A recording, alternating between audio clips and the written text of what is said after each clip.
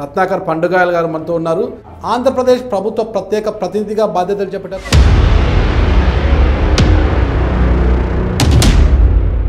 ఎన్నికలు దిగ్విజయం పటాభిషేకంలో అయితేనే ఉంది. ఆయన భారతదేశంలోనే అత్యంత శక్తివంత నాయకుడిగా నేను ఎప్పుడూ ఆయన పరిగణిస్తాను. స్వీకరించారా? ఆ బాధ్యతలు గవర్నమెంట్ జీవో వచ్చేసింది. ఇంకా కొంత టర్మ్స్ అండ్ కండిషన్స్ వాటి మీద ప్రభుత్వ అధికారులు పనిచేస్తున్నారు. ఉద్యోగాల కోసం వెళ్ళి అక్కడ వ్యాపారస్తులకు ఎదిగిన వారు ఎక్కువ కనిపిస్తున్నారు ఏంటది కారణం ఏంటది అసలు అందరికీ అందరి తరపున నేను చెప్పలేను కానీ నేనైతే స్వతహాగా కూర్చొని ఎనిమిది గంటలు తొమ్మిది గంటలు ఒకే సీటు మీద పనిచేసే ఉద్యోగానికి కొంత మెక్కుతుండేవాడిని అసలు వైఎస్ఆర్ కాంగ్రెస్ పార్టీతో మీకు ఎప్పటి నుంచి అనుబంధం ఏర్పడింది? దానికి ముందుగా పార్టీ అధ్యక్షుడు జగన్మోహన్ రెడ్డి గారితో ఎప్పుడు పరిచయం ఏర్పడింది అసలు మీకు? జగన్మోహన్ రెడ్డి గారు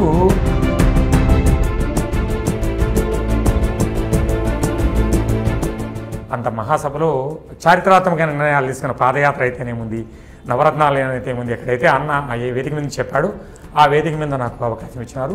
పాదయాత్ర స్టార్ట్ కావడం పాదయాత్ర స్టార్టింగ్ కడప రోజు దగ్గర నుంచి.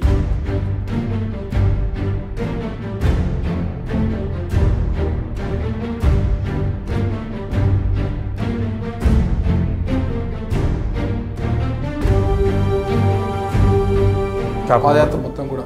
చాలా మటుకు. మేనిఫెస్టోలో పెట్టనివి కూడా ఇచ్చే లక్షణం ఉండే తండ్రి తనయుడు. వారి పెద్ద పెద్ద పారిశ్రామికవేత్తలు ఇక్కడ రావడానికి వెనుకంజ వేస్తున్నారు. అదేమి నిబంధన అని టీడీపీ వారు విమర్శిస్తున్నారు కదా? టీడీపీ వాళ్ళ విమర్శించేదానికి ఇంక మీరు దేనికైనా విమర్శిస్తారు. వాళ్ళకు వేరే పని ఏమన్నా ఉంటే కదా వాళ్ళు ఈ పార్టీ ఉండదు. ఇక చంద్రబాబు నాయుడు ప్రభుత్వంలో తెలుగుదేశం నడపలేము అన్న ఒక అవగాహనకు వచ్చేసి చేస్తా ఉన్న విమర్శలు తప్పనిసి నాగరాజు గారు అందులో ఏమాత్రం కూడా కరెక్ట్ కాదు. ఓకే. ఇప్పుడు జగన్మోహన్ రెడ్డి గారు ఇటీవల అమెరికా పర్యటనలోకి వచ్చారు కదా పూర్తిగా వ్యక్తిగత పర్యటన అన్నారు. అయినప్పటికీ కూడా కొంత డెలిగేట్స్తో కలచడము మీటింగులు పెట్టడం కూడా జరిగింది. ఆ ప్రోగ్రామ్స్ అంతా కూడా మీరు మానిటర్ చేశారా? అవును. నేను ప్రత్యేక కన్వీనర్గా నేను మా టీము మా కమిటీ వాళ్ళం దగ్గరుండి మానిటర్ చేశాను ఎప్పుడు కూడా అమెరికాలో ఇలాంటి ప్రజలతో బహిరంగ సభ ఏర్పాటు చేయలేదు అంటారు? అవును. ముఖ్యమంత్రి స్థాయిలో ఎవరే కానీ ఇంత బహిరంగ సభ ఎప్పుడు చేసలేదు మీరు కూడా చూడొచ్చు. ఉత్తర అమెరికా అంటే అమెరికా ప్లస్ కెనడా. కెనడా. అమెరికాలో అన్ని రాష్ట్రాలు. కెనడా కూడా నార్త్ అమెరికా అంటే అదొక ఖండం. పార్టీని అక్కడ బలోపేతం చేస్తూనే ప్రభుత్వ ప్రత్యేక ప్రతినిధిగా పారిశ్రామికవేత్తలు తీసుకురావడము ఇక్కడ ప్రభుత్వానికి వాళ్ళు చేదోడు వాదోడు ఉండేటట్లు చేయడము మీ బాధ్యత అనమాట అవును అవును. రెండు బాధ్యతలు మీరు భుజానికి ఎత్తుకున్నారు. అవును ఇంకా కొన్ని కూడా కల్చరల్గా మన తెలుగు అభివృద్ధి చెందినవి అక్కడ తెలుగు వాళ్ళకి చేయడం అయితేనేముంది ఇవి ఎవరు ముఖ్యమంత్రిగా ఉన్నప్పుడు అంటే అమెరికాలో మన ప్రవాసాంధ్రులకు ఎక్కువ నమ్మకం ఉండేది ఏపీ ప్రభుత్వం పైన? రాజశేఖర రెడ్డి గారు ఉన్నప్పుడే. ఇప్పుడు చంద్రబాబు నాయుడు? గారు ఏంటంటే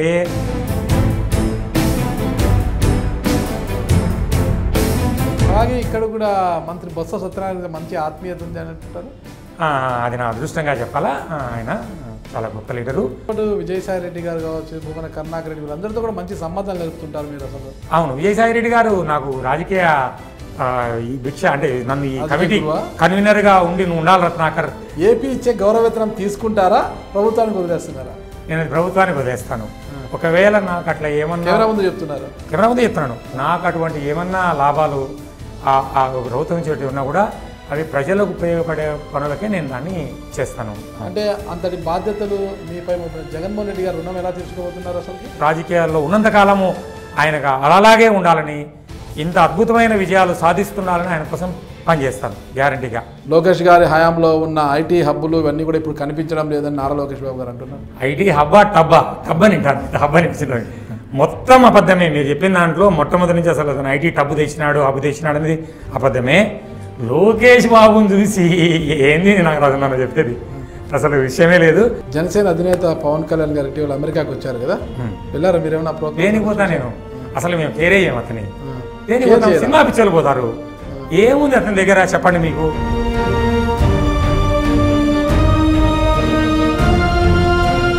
ఆంధ్రప్రదేశ్ రాజ రాష్ట్ర అసెంబ్లీ నూట డెబ్బై ఐదు కాన్స్టెన్సీలో కాపులు ఎక్కువగా ఉండేది సినిమా పిచ్చోళ్ళు ఎక్కువగా ఉండే కాన్స్టెన్సీ గాజువాక. మీరు ఒప్పుకోవాల్సిందే విషయం. అవునా? మరి గాజువాకలు ఎటు ఓడిపోతారయ్యా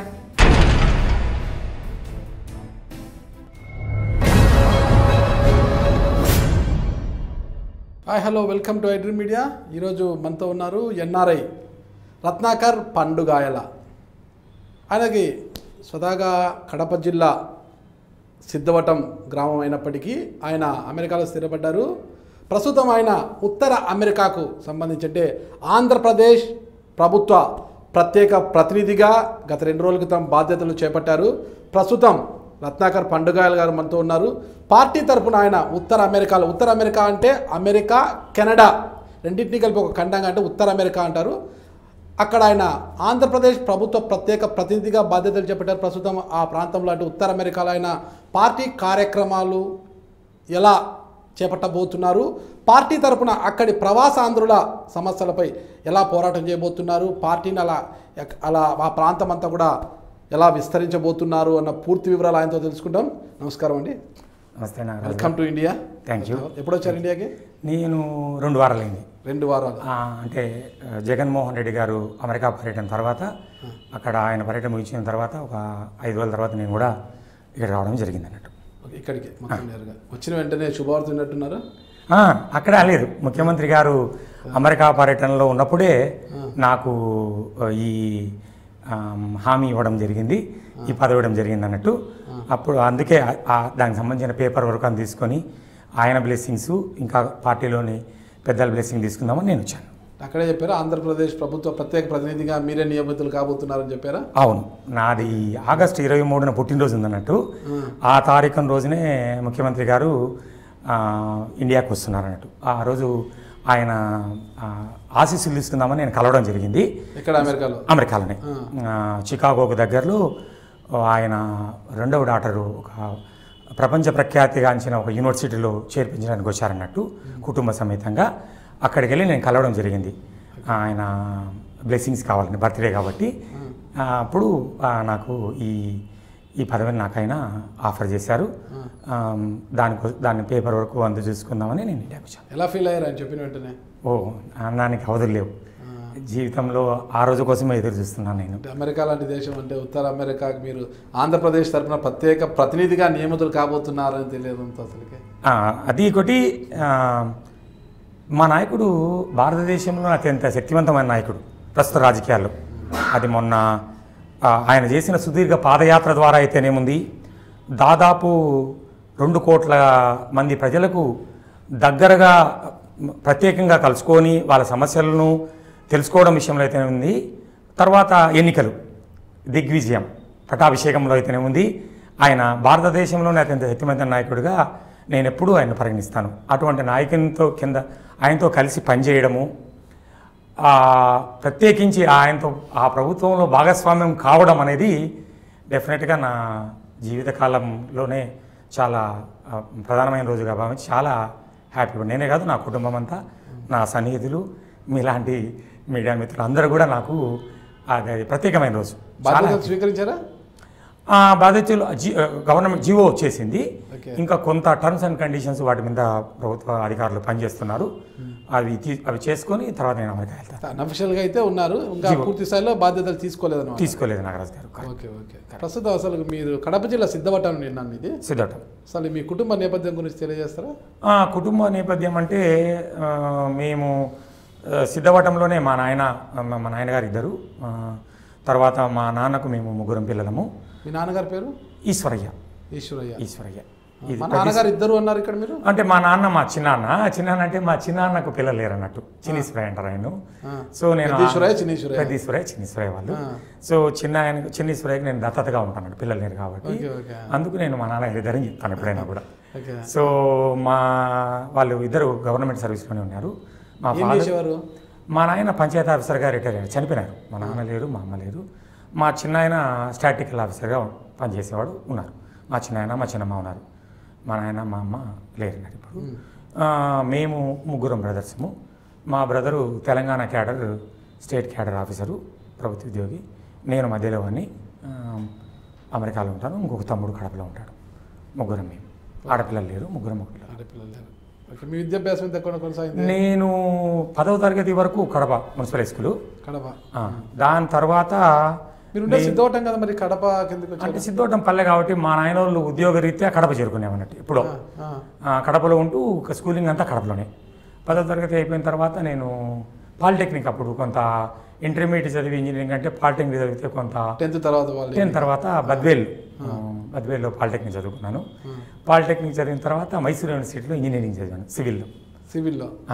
ఓకే. ఇంజనీరింగ్ అయిపోయిన తర్వాత అప్పుడు మాకు డిప్లొమా కూడా సివిల్ చేశారు సివిల్ చేసి అట్లే బీటెక్ అట్లా ఆ, ఇక్కడ డిప్లొమాలో సివిల్ చేస్తే మనం ఇంజనీరింగ్లో సివిలే చేయాలి నాకు వేరేది వేరేది లేదు ఇంకా. సో సివిలే చేసి అప్పుడు కొంచెం సివిల్లో ఉద్యోగ అవకాశాలు చాలా తక్కువ ఉన్నాయి ప్రభుత్వ ఉద్యోగాలు కానీ ప్రైవేట్ ఉద్యోగాలు తక్కువ చేయాలి మరి డిప్లొమాలో సివిల్ చేసి ఇంకా ఖచ్చితంగా మీరు బీటెక్లో సివిలే చేయాలి. అవును. మళ్ళీ డిప్లొమాలో ఎందుకు సివిల్ ఎంచుకున్నారు? అంటే అప్పుడు డిప్లొమాలు సివిల్ చేసుకుంటే కొన్ని ఉద్యోగ అవకాశాలు తక్కువ స్థాయిలో బాగుంటాయన్న ఒక మా నాన్న సర్కిల్లో కొందరు ఇంజనీర్లు ఉండేవాళ్ళు. వాళ్ళు ఇచ్చిన సలహా మేరకు మా ఫాదరు ఆ డెసిషన్ తీసుకున్నాడు. ఓకే. సరే అని చెప్పేసి నేను సివిల్లో కంటిన్యూ చేసినాను. మేము ఇంజనీరింగ్ అయిపోయి అంటే మిడ్ నైంటీస్కి వచ్చేటప్పటికి సివిల్కు బాగా ప్రభుత్వ ఉద్యోగాలు లేకుండా పోవడము బయట కూడా పెద్ద ప్రోత్సాహమైన జీతాలు లేకుండా పోవడం కారణంగా అప్పట్లో మాకు ఈ సాఫ్ట్వేర్ వైటుకే ప్రాబ్లం అనేది ఒకటి ఉండింది అమెరికాలో మీకు దానికి ఒక క్రాష్ కోర్సు తక్కువ కాలంలో కోర్సు తీసుకుంటే అమెరికాకు పోయే అవకాశం లేదు కాబట్టి హెచ్ వన్ వీసా మీద నేను అమెరికాకి వెళ్ళాను. ఎవరు హెల్ప్ చేస్తారు అప్పుడు మీకు? నాకు మిత్రులు ఉండేవాళ్ళు అమెరికాలో. వాళ్ళు గైడ్ చేశారు అప్పుడు మన అంటే వాళ్ళు కంప్యూటర్ సైన్స్ చదువుకొని మాకన్నా ముందు కాలేజీలో అమెరికాకు పోయి ఉండేవాళ్ళు. వాళ్ళు కొంత సహాయం చేశారు అన్నట్టు. సో వాళ్ళ సహాయ సహకారాలతో వెళ్ళాను ఓకే ఓకే. ఎన్ని ఎన్ని సంవత్సరాల కింద మీరు? తొంభై ఎనిమిది ఇది తొంభై ఎనిమిది. తొంభై ఎనిమిదిలో వెళ్ళాను. తొంభై ఎనిమిదిలో వెళ్ళిన తర్వాత సాఫ్ట్వేర్ జాబ్ ఒక ఆరు నెలలు చేశాను. తర్వాత మన తరంగాలే అది.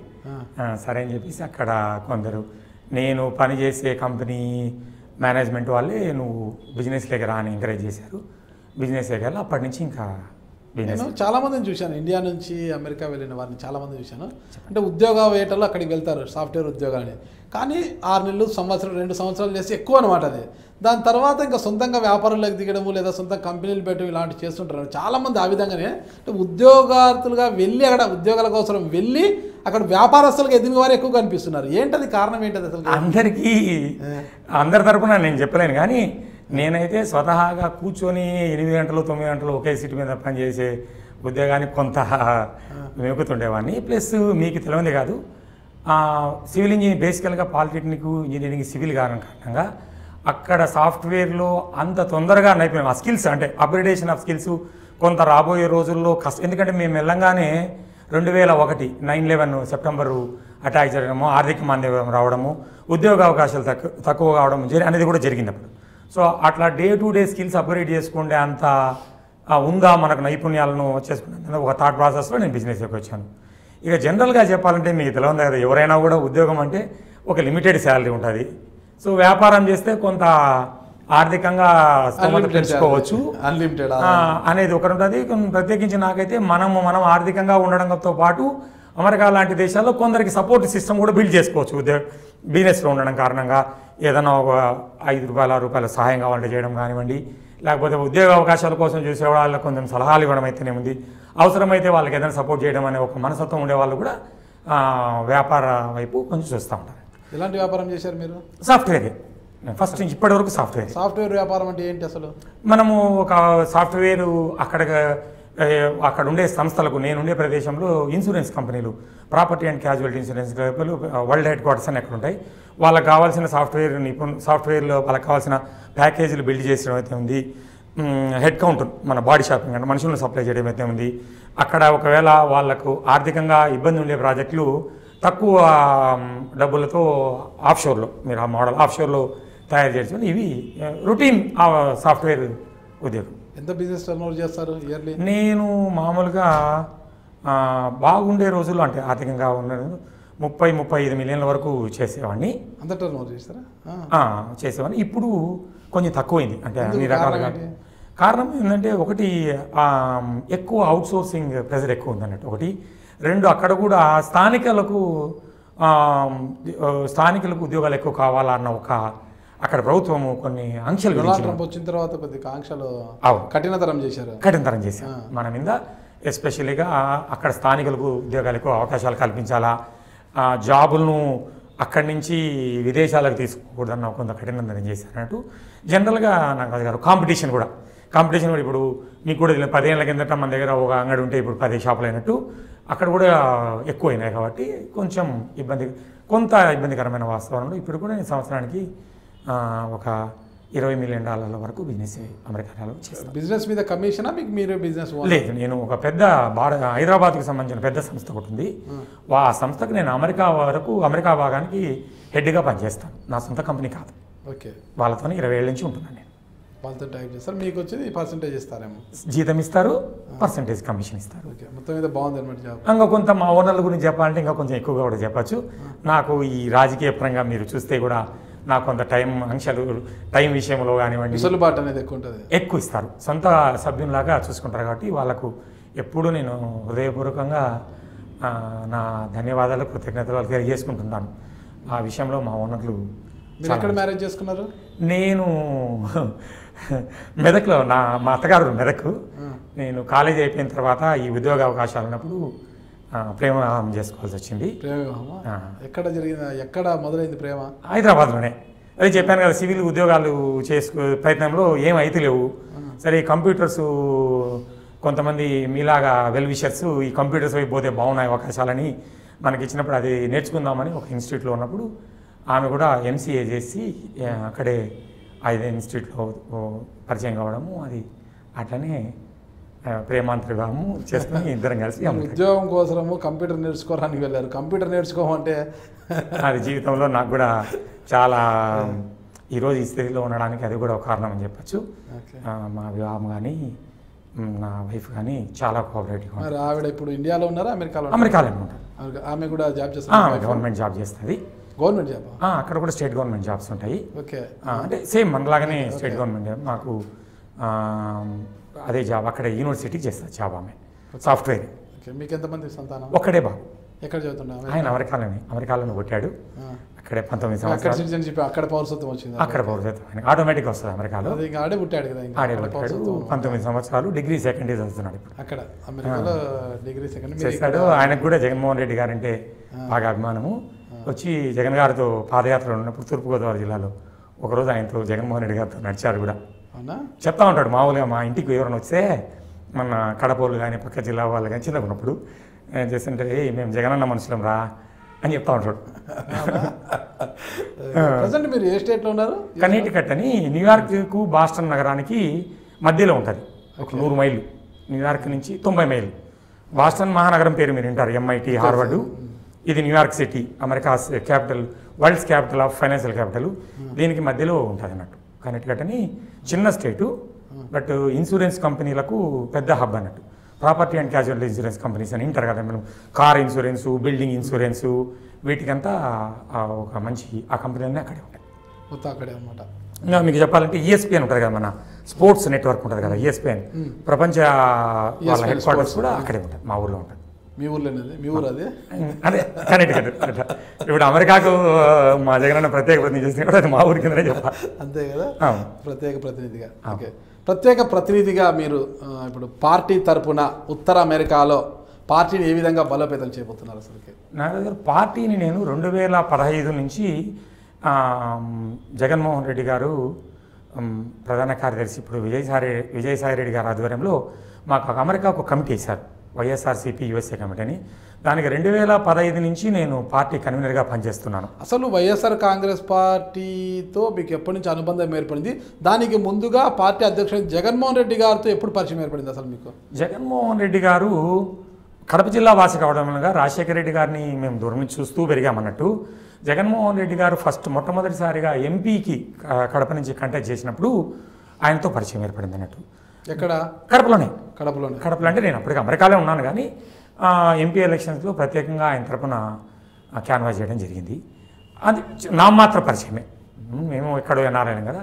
దాని తర్వాత మహానేత చనిపోవడము జగన్మోహన్ రెడ్డి గారు తో అప్పుడు నేను వచ్చినప్పుడల్లా జగనన్నను కలవడము రెండు వేల పదకొండు నుంచి కొంచెం చిన్న చిన్న యాక్టివిటీలో వచ్చినప్పుడు అంటే అదే పని కాకుండా చేయడము అక్కడి నుంచి ఏమన్నా మహానేత వర్ధంతి కానీ జయంతి కానీ చేయడము. తర్వాత రెండు వేల పద్నాలుగు పదమూడు నుంచి అన్న ఈ ఎలక్షన్స్ రౌండ్ నుంచి నేను ప్రత్యేకంగా వచ్చి ఎలక్షన్స్ క్యాన్వాస్లో అప్పుడు పాల్గొన్నాను. నా శక్తి వీలైనంత వరకు పార్టీకి చేశాను. ఆ ఎలక్షన్స్లో తర్వాత ఈ వైఎస్ఆర్సీపీ అమెరికా కమిటీకి నన్ను కన్వీనర్గా అన్న నియమించడం జరిగింది. విజయసాయి రెడ్డి గారి ఆధ్వర్యంలో అప్పటి నుంచి నేను పార్టీకి పనిచేస్తున్నాను అమెరికాలో. ఓకే మొత్తం అమెరికాలో ఉంటూ మీరు పార్టీకి పనిచేస్తూ వస్తున్నారు చేస్తున్నాను. అమెరికా నుంచి అక్కడ సభ్యత్వం అయితేనేముంది? అక్కడ మహానేత జయంతి వర్ధంతి కార్యక్రమం అవుతుంది. పార్టీని అన్ని రకాలుగా సోషల్ మీడియా ఉంది అక్కడ వేరే దానిలో బలోపేతం చేయడం నా వంతు కృషి చేస్తూ మాకు టీం టీమ్ ఆఫ్ పీపుల్ చేసుకుంటూ వస్తూ ఇక్కడ కూడా పార్టీ నిర్వహించే ఏ కార్యక్రమం అయినా కూడా ఒక యువగర్జన కానివ్వండి అప్పుడు అన్ని దానాల్లో నేను అమెరికా నుంచి వచ్చి ఇక్కడ మా రిప్రజెంటేషన్ ఉండాలని మేము ఆ నుంచి వచ్చి చేసేదేం పెద్ద లేదు. ఇక్కడంతా ఉంటుంది కానీ వచ్చి ఇక్కడ నా పార్టిసిపేషన్ నా దాని వరకు నేను ఉండేవాడిని. అన్ని కార్యక్రమాల్లో. పాదయాత్ర ప్రత్యేకించి ప్రారంభం అంటే నాకు ఎప్పుడు చెప్పాలంటే మీకు రెండు వేల పదిహేడు మా పార్టీ ప్లీనరీ సమావేశాల్లో జగన్మోహన్ రెడ్డి గారు విజయసాయి రెడ్డి గారు నాకు వేదిక మీద ప్రసంగించే అవకాశం ఇచ్చారు. అమెరికా పార్టీ కన్వీనర్ కన్వీనర్గా నన్ను అంత మహాసభలో చారిత్రాత్మక నిర్ణయాలు తీసుకున్న పాదయాత్ర అయితేనేముంది? నవరత్నాలు ఉంది ఎక్కడైతే అన్న ఆ ఏ వేదిక మీద చెప్పాడు ఆ వేదిక మీద నాకు అవకాశం ఇచ్చినారు. అప్పుడే ఇమీడియట్గా ప్లెనరీ కాగానే నంద్యాల ఎలక్షన్స్ రావడము. నంద్యాల ఎలక్షన్స్లో నేను కంప్లీట్గా నంద్యాలలోనే ఉండి నా చేతనైనంత ఆ, సహాయ పార్టీకి అక్కడ ఏదైనా చేయడానికి కోసం పనిచేశాను. దాని తర్వాత కంటిన్యూస్గా పాదయాత్ర స్టార్ట్ కావడం పాదయాత్ర స్టార్టింగ్ కడప రోజు దగ్గర నుంచి తర్వాత వీలైన వీలైన జిల్లాలు కొంతమేర కడప కర్నూలు కొంత భాగము తర్వాత చిత్తూరు ఒంగోలు గుంటూరు. అట్లా ఒక తూర్పుగోదావరి పశ్చిమ గోదావరిలో మాత్రం లేకుండా పోయినాను. నా వ్యాపార పరిస్థితులు పర్సనల్ రీజన్స్ కారణంగా అమెరికా పోవాల్సి వచ్చింది. మళ్ళీ వచ్చే వైజాగ్ ఎండింగ్లో కొంత భాగము విజయనగరం అంతా పాదయాత్ర ఇచ్చా పాదయాత్ర మొత్తం కూడా. చాలా మటుకు.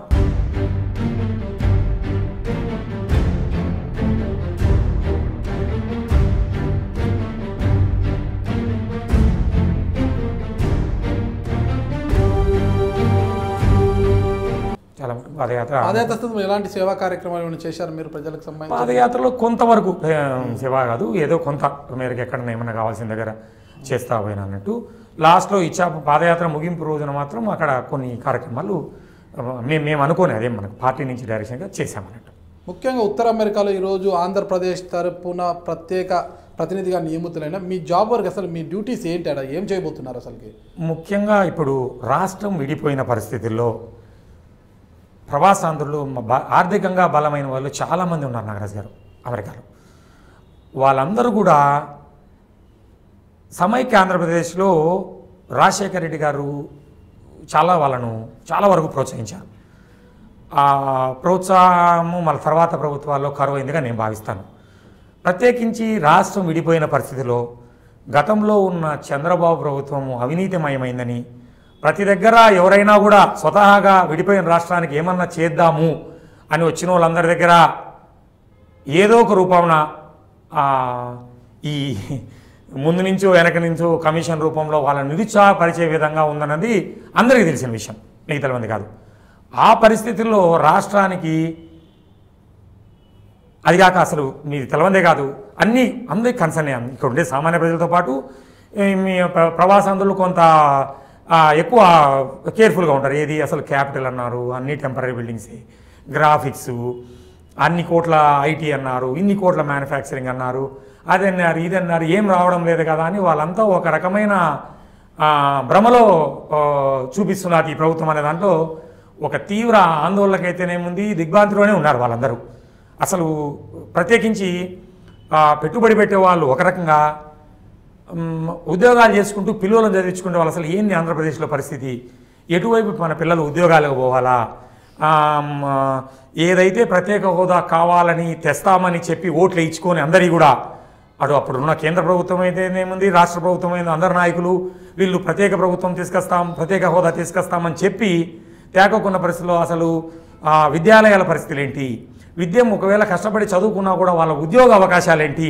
ఇంకా కూడా మేము మళ్ళా పక్క రాష్ట్రాలైన చెన్నైకో బెంగళూరుకో పూణేకో అవసరమైతే ఢిల్లీకో పోవాల్సిన పరిస్థితులు వస్తే ఆంధ్రప్రదేశ్ వైపు మేము ఎందుకు చూడాలా అన్న ఒక తీవ్రమైన ఆందోళనకు గురైన మాట వాస్తవం.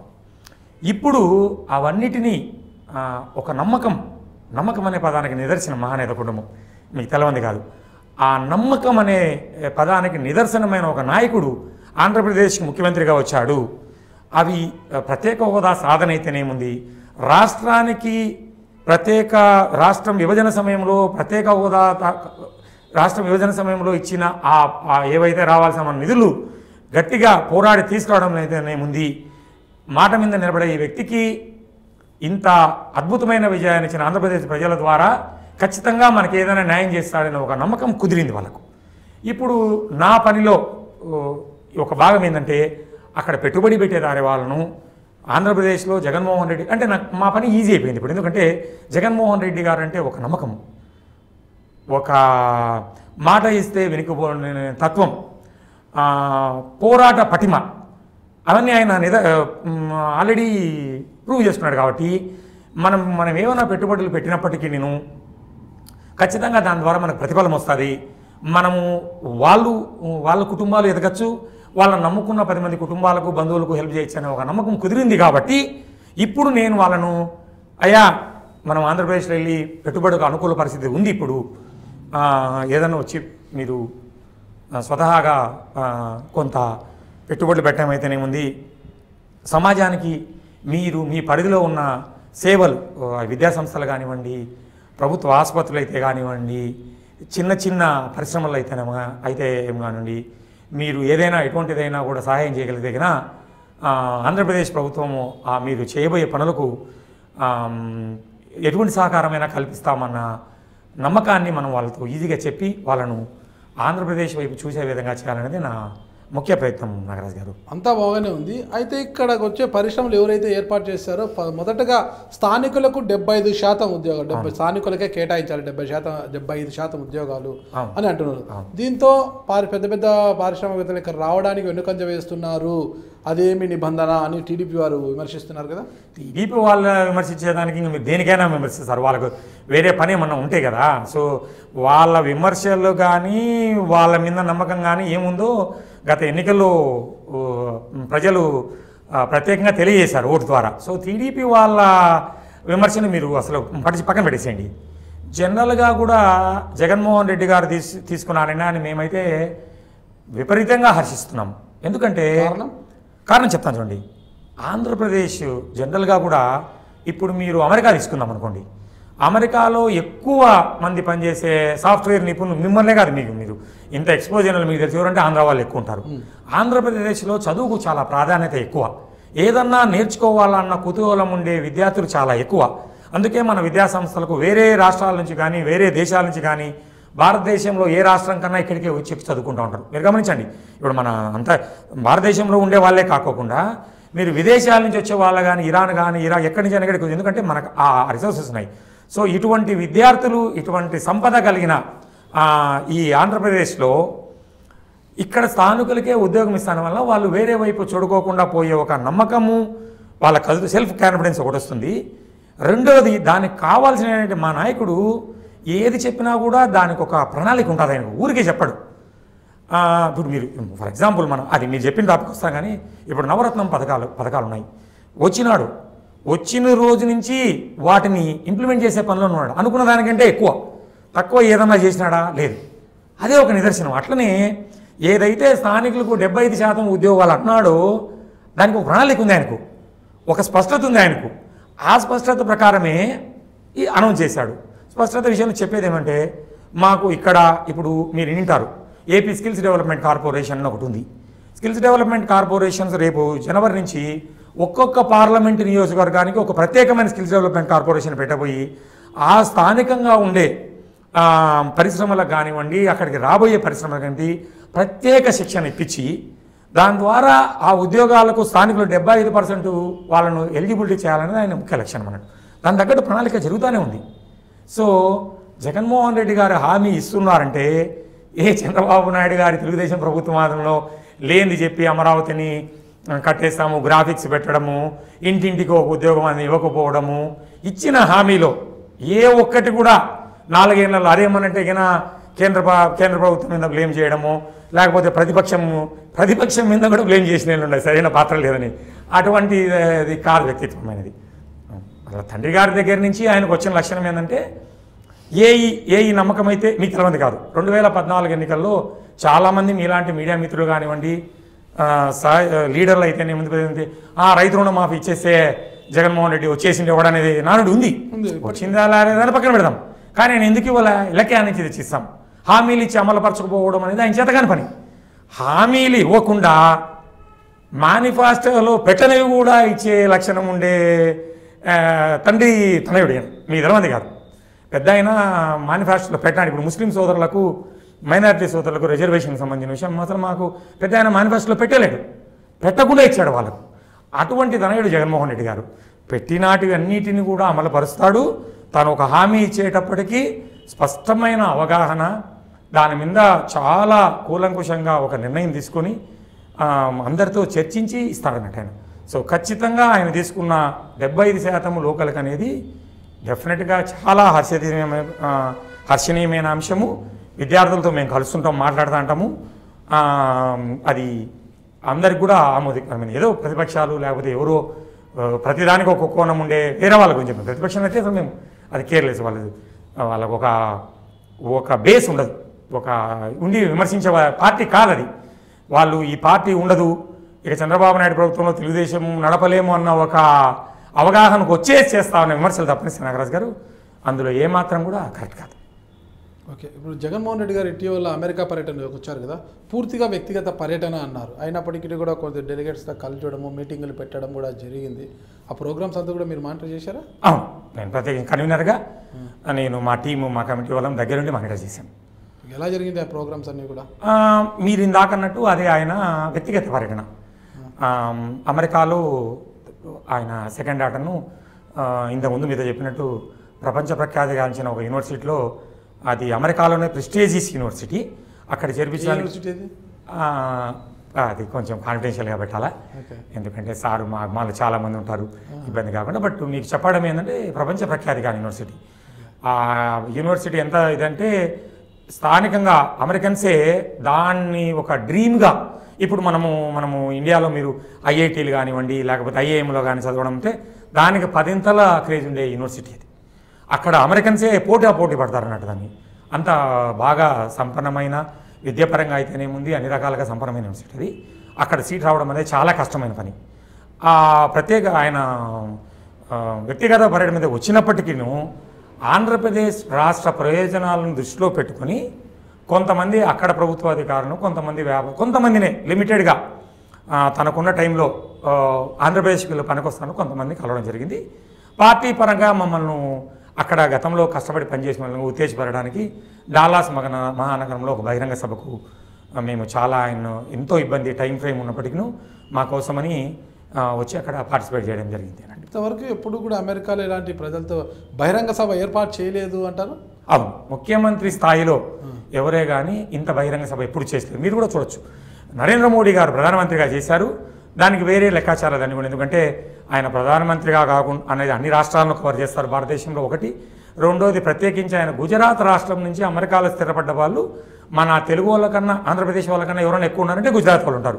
వాళ్ళు హోటల్ బిజినెస్ కానీ ముందు నుంచి ఉన్నారు కాబట్టి వాళ్ళ వాళ్ళందరూ కూడా గుజరాత్ వాళ్ళు స్థానిక ఎప్పటి నుంచో వాళ్ళ రాష్ట్రానికి సంబంధించిన మంది ముఖ్యమంత్రి ప్రధానమంత్రి కావడము. అట్లా ఒక ఇరవై వేల మంది దాదాపు వచ్చినారు మంచి సభ ఇది. దాని తర్వాత ఎక్కువ మంది వచ్చి సభ జగన్మోహన్ రెడ్డి గారి జనం బాగా వచ్చారు స్వతహాగా వచ్చారు. ఆంధ్రప్రదేశ్ రాష్ట్రం వల్లే కాకుండా మేము ఆశ్చర్యకరం విషయం అయితే తెలంగాణ రాష్ట్రం అయితేనేముంది పక్క రాష్ట్రాల నుంచి కూడా కొంతమంది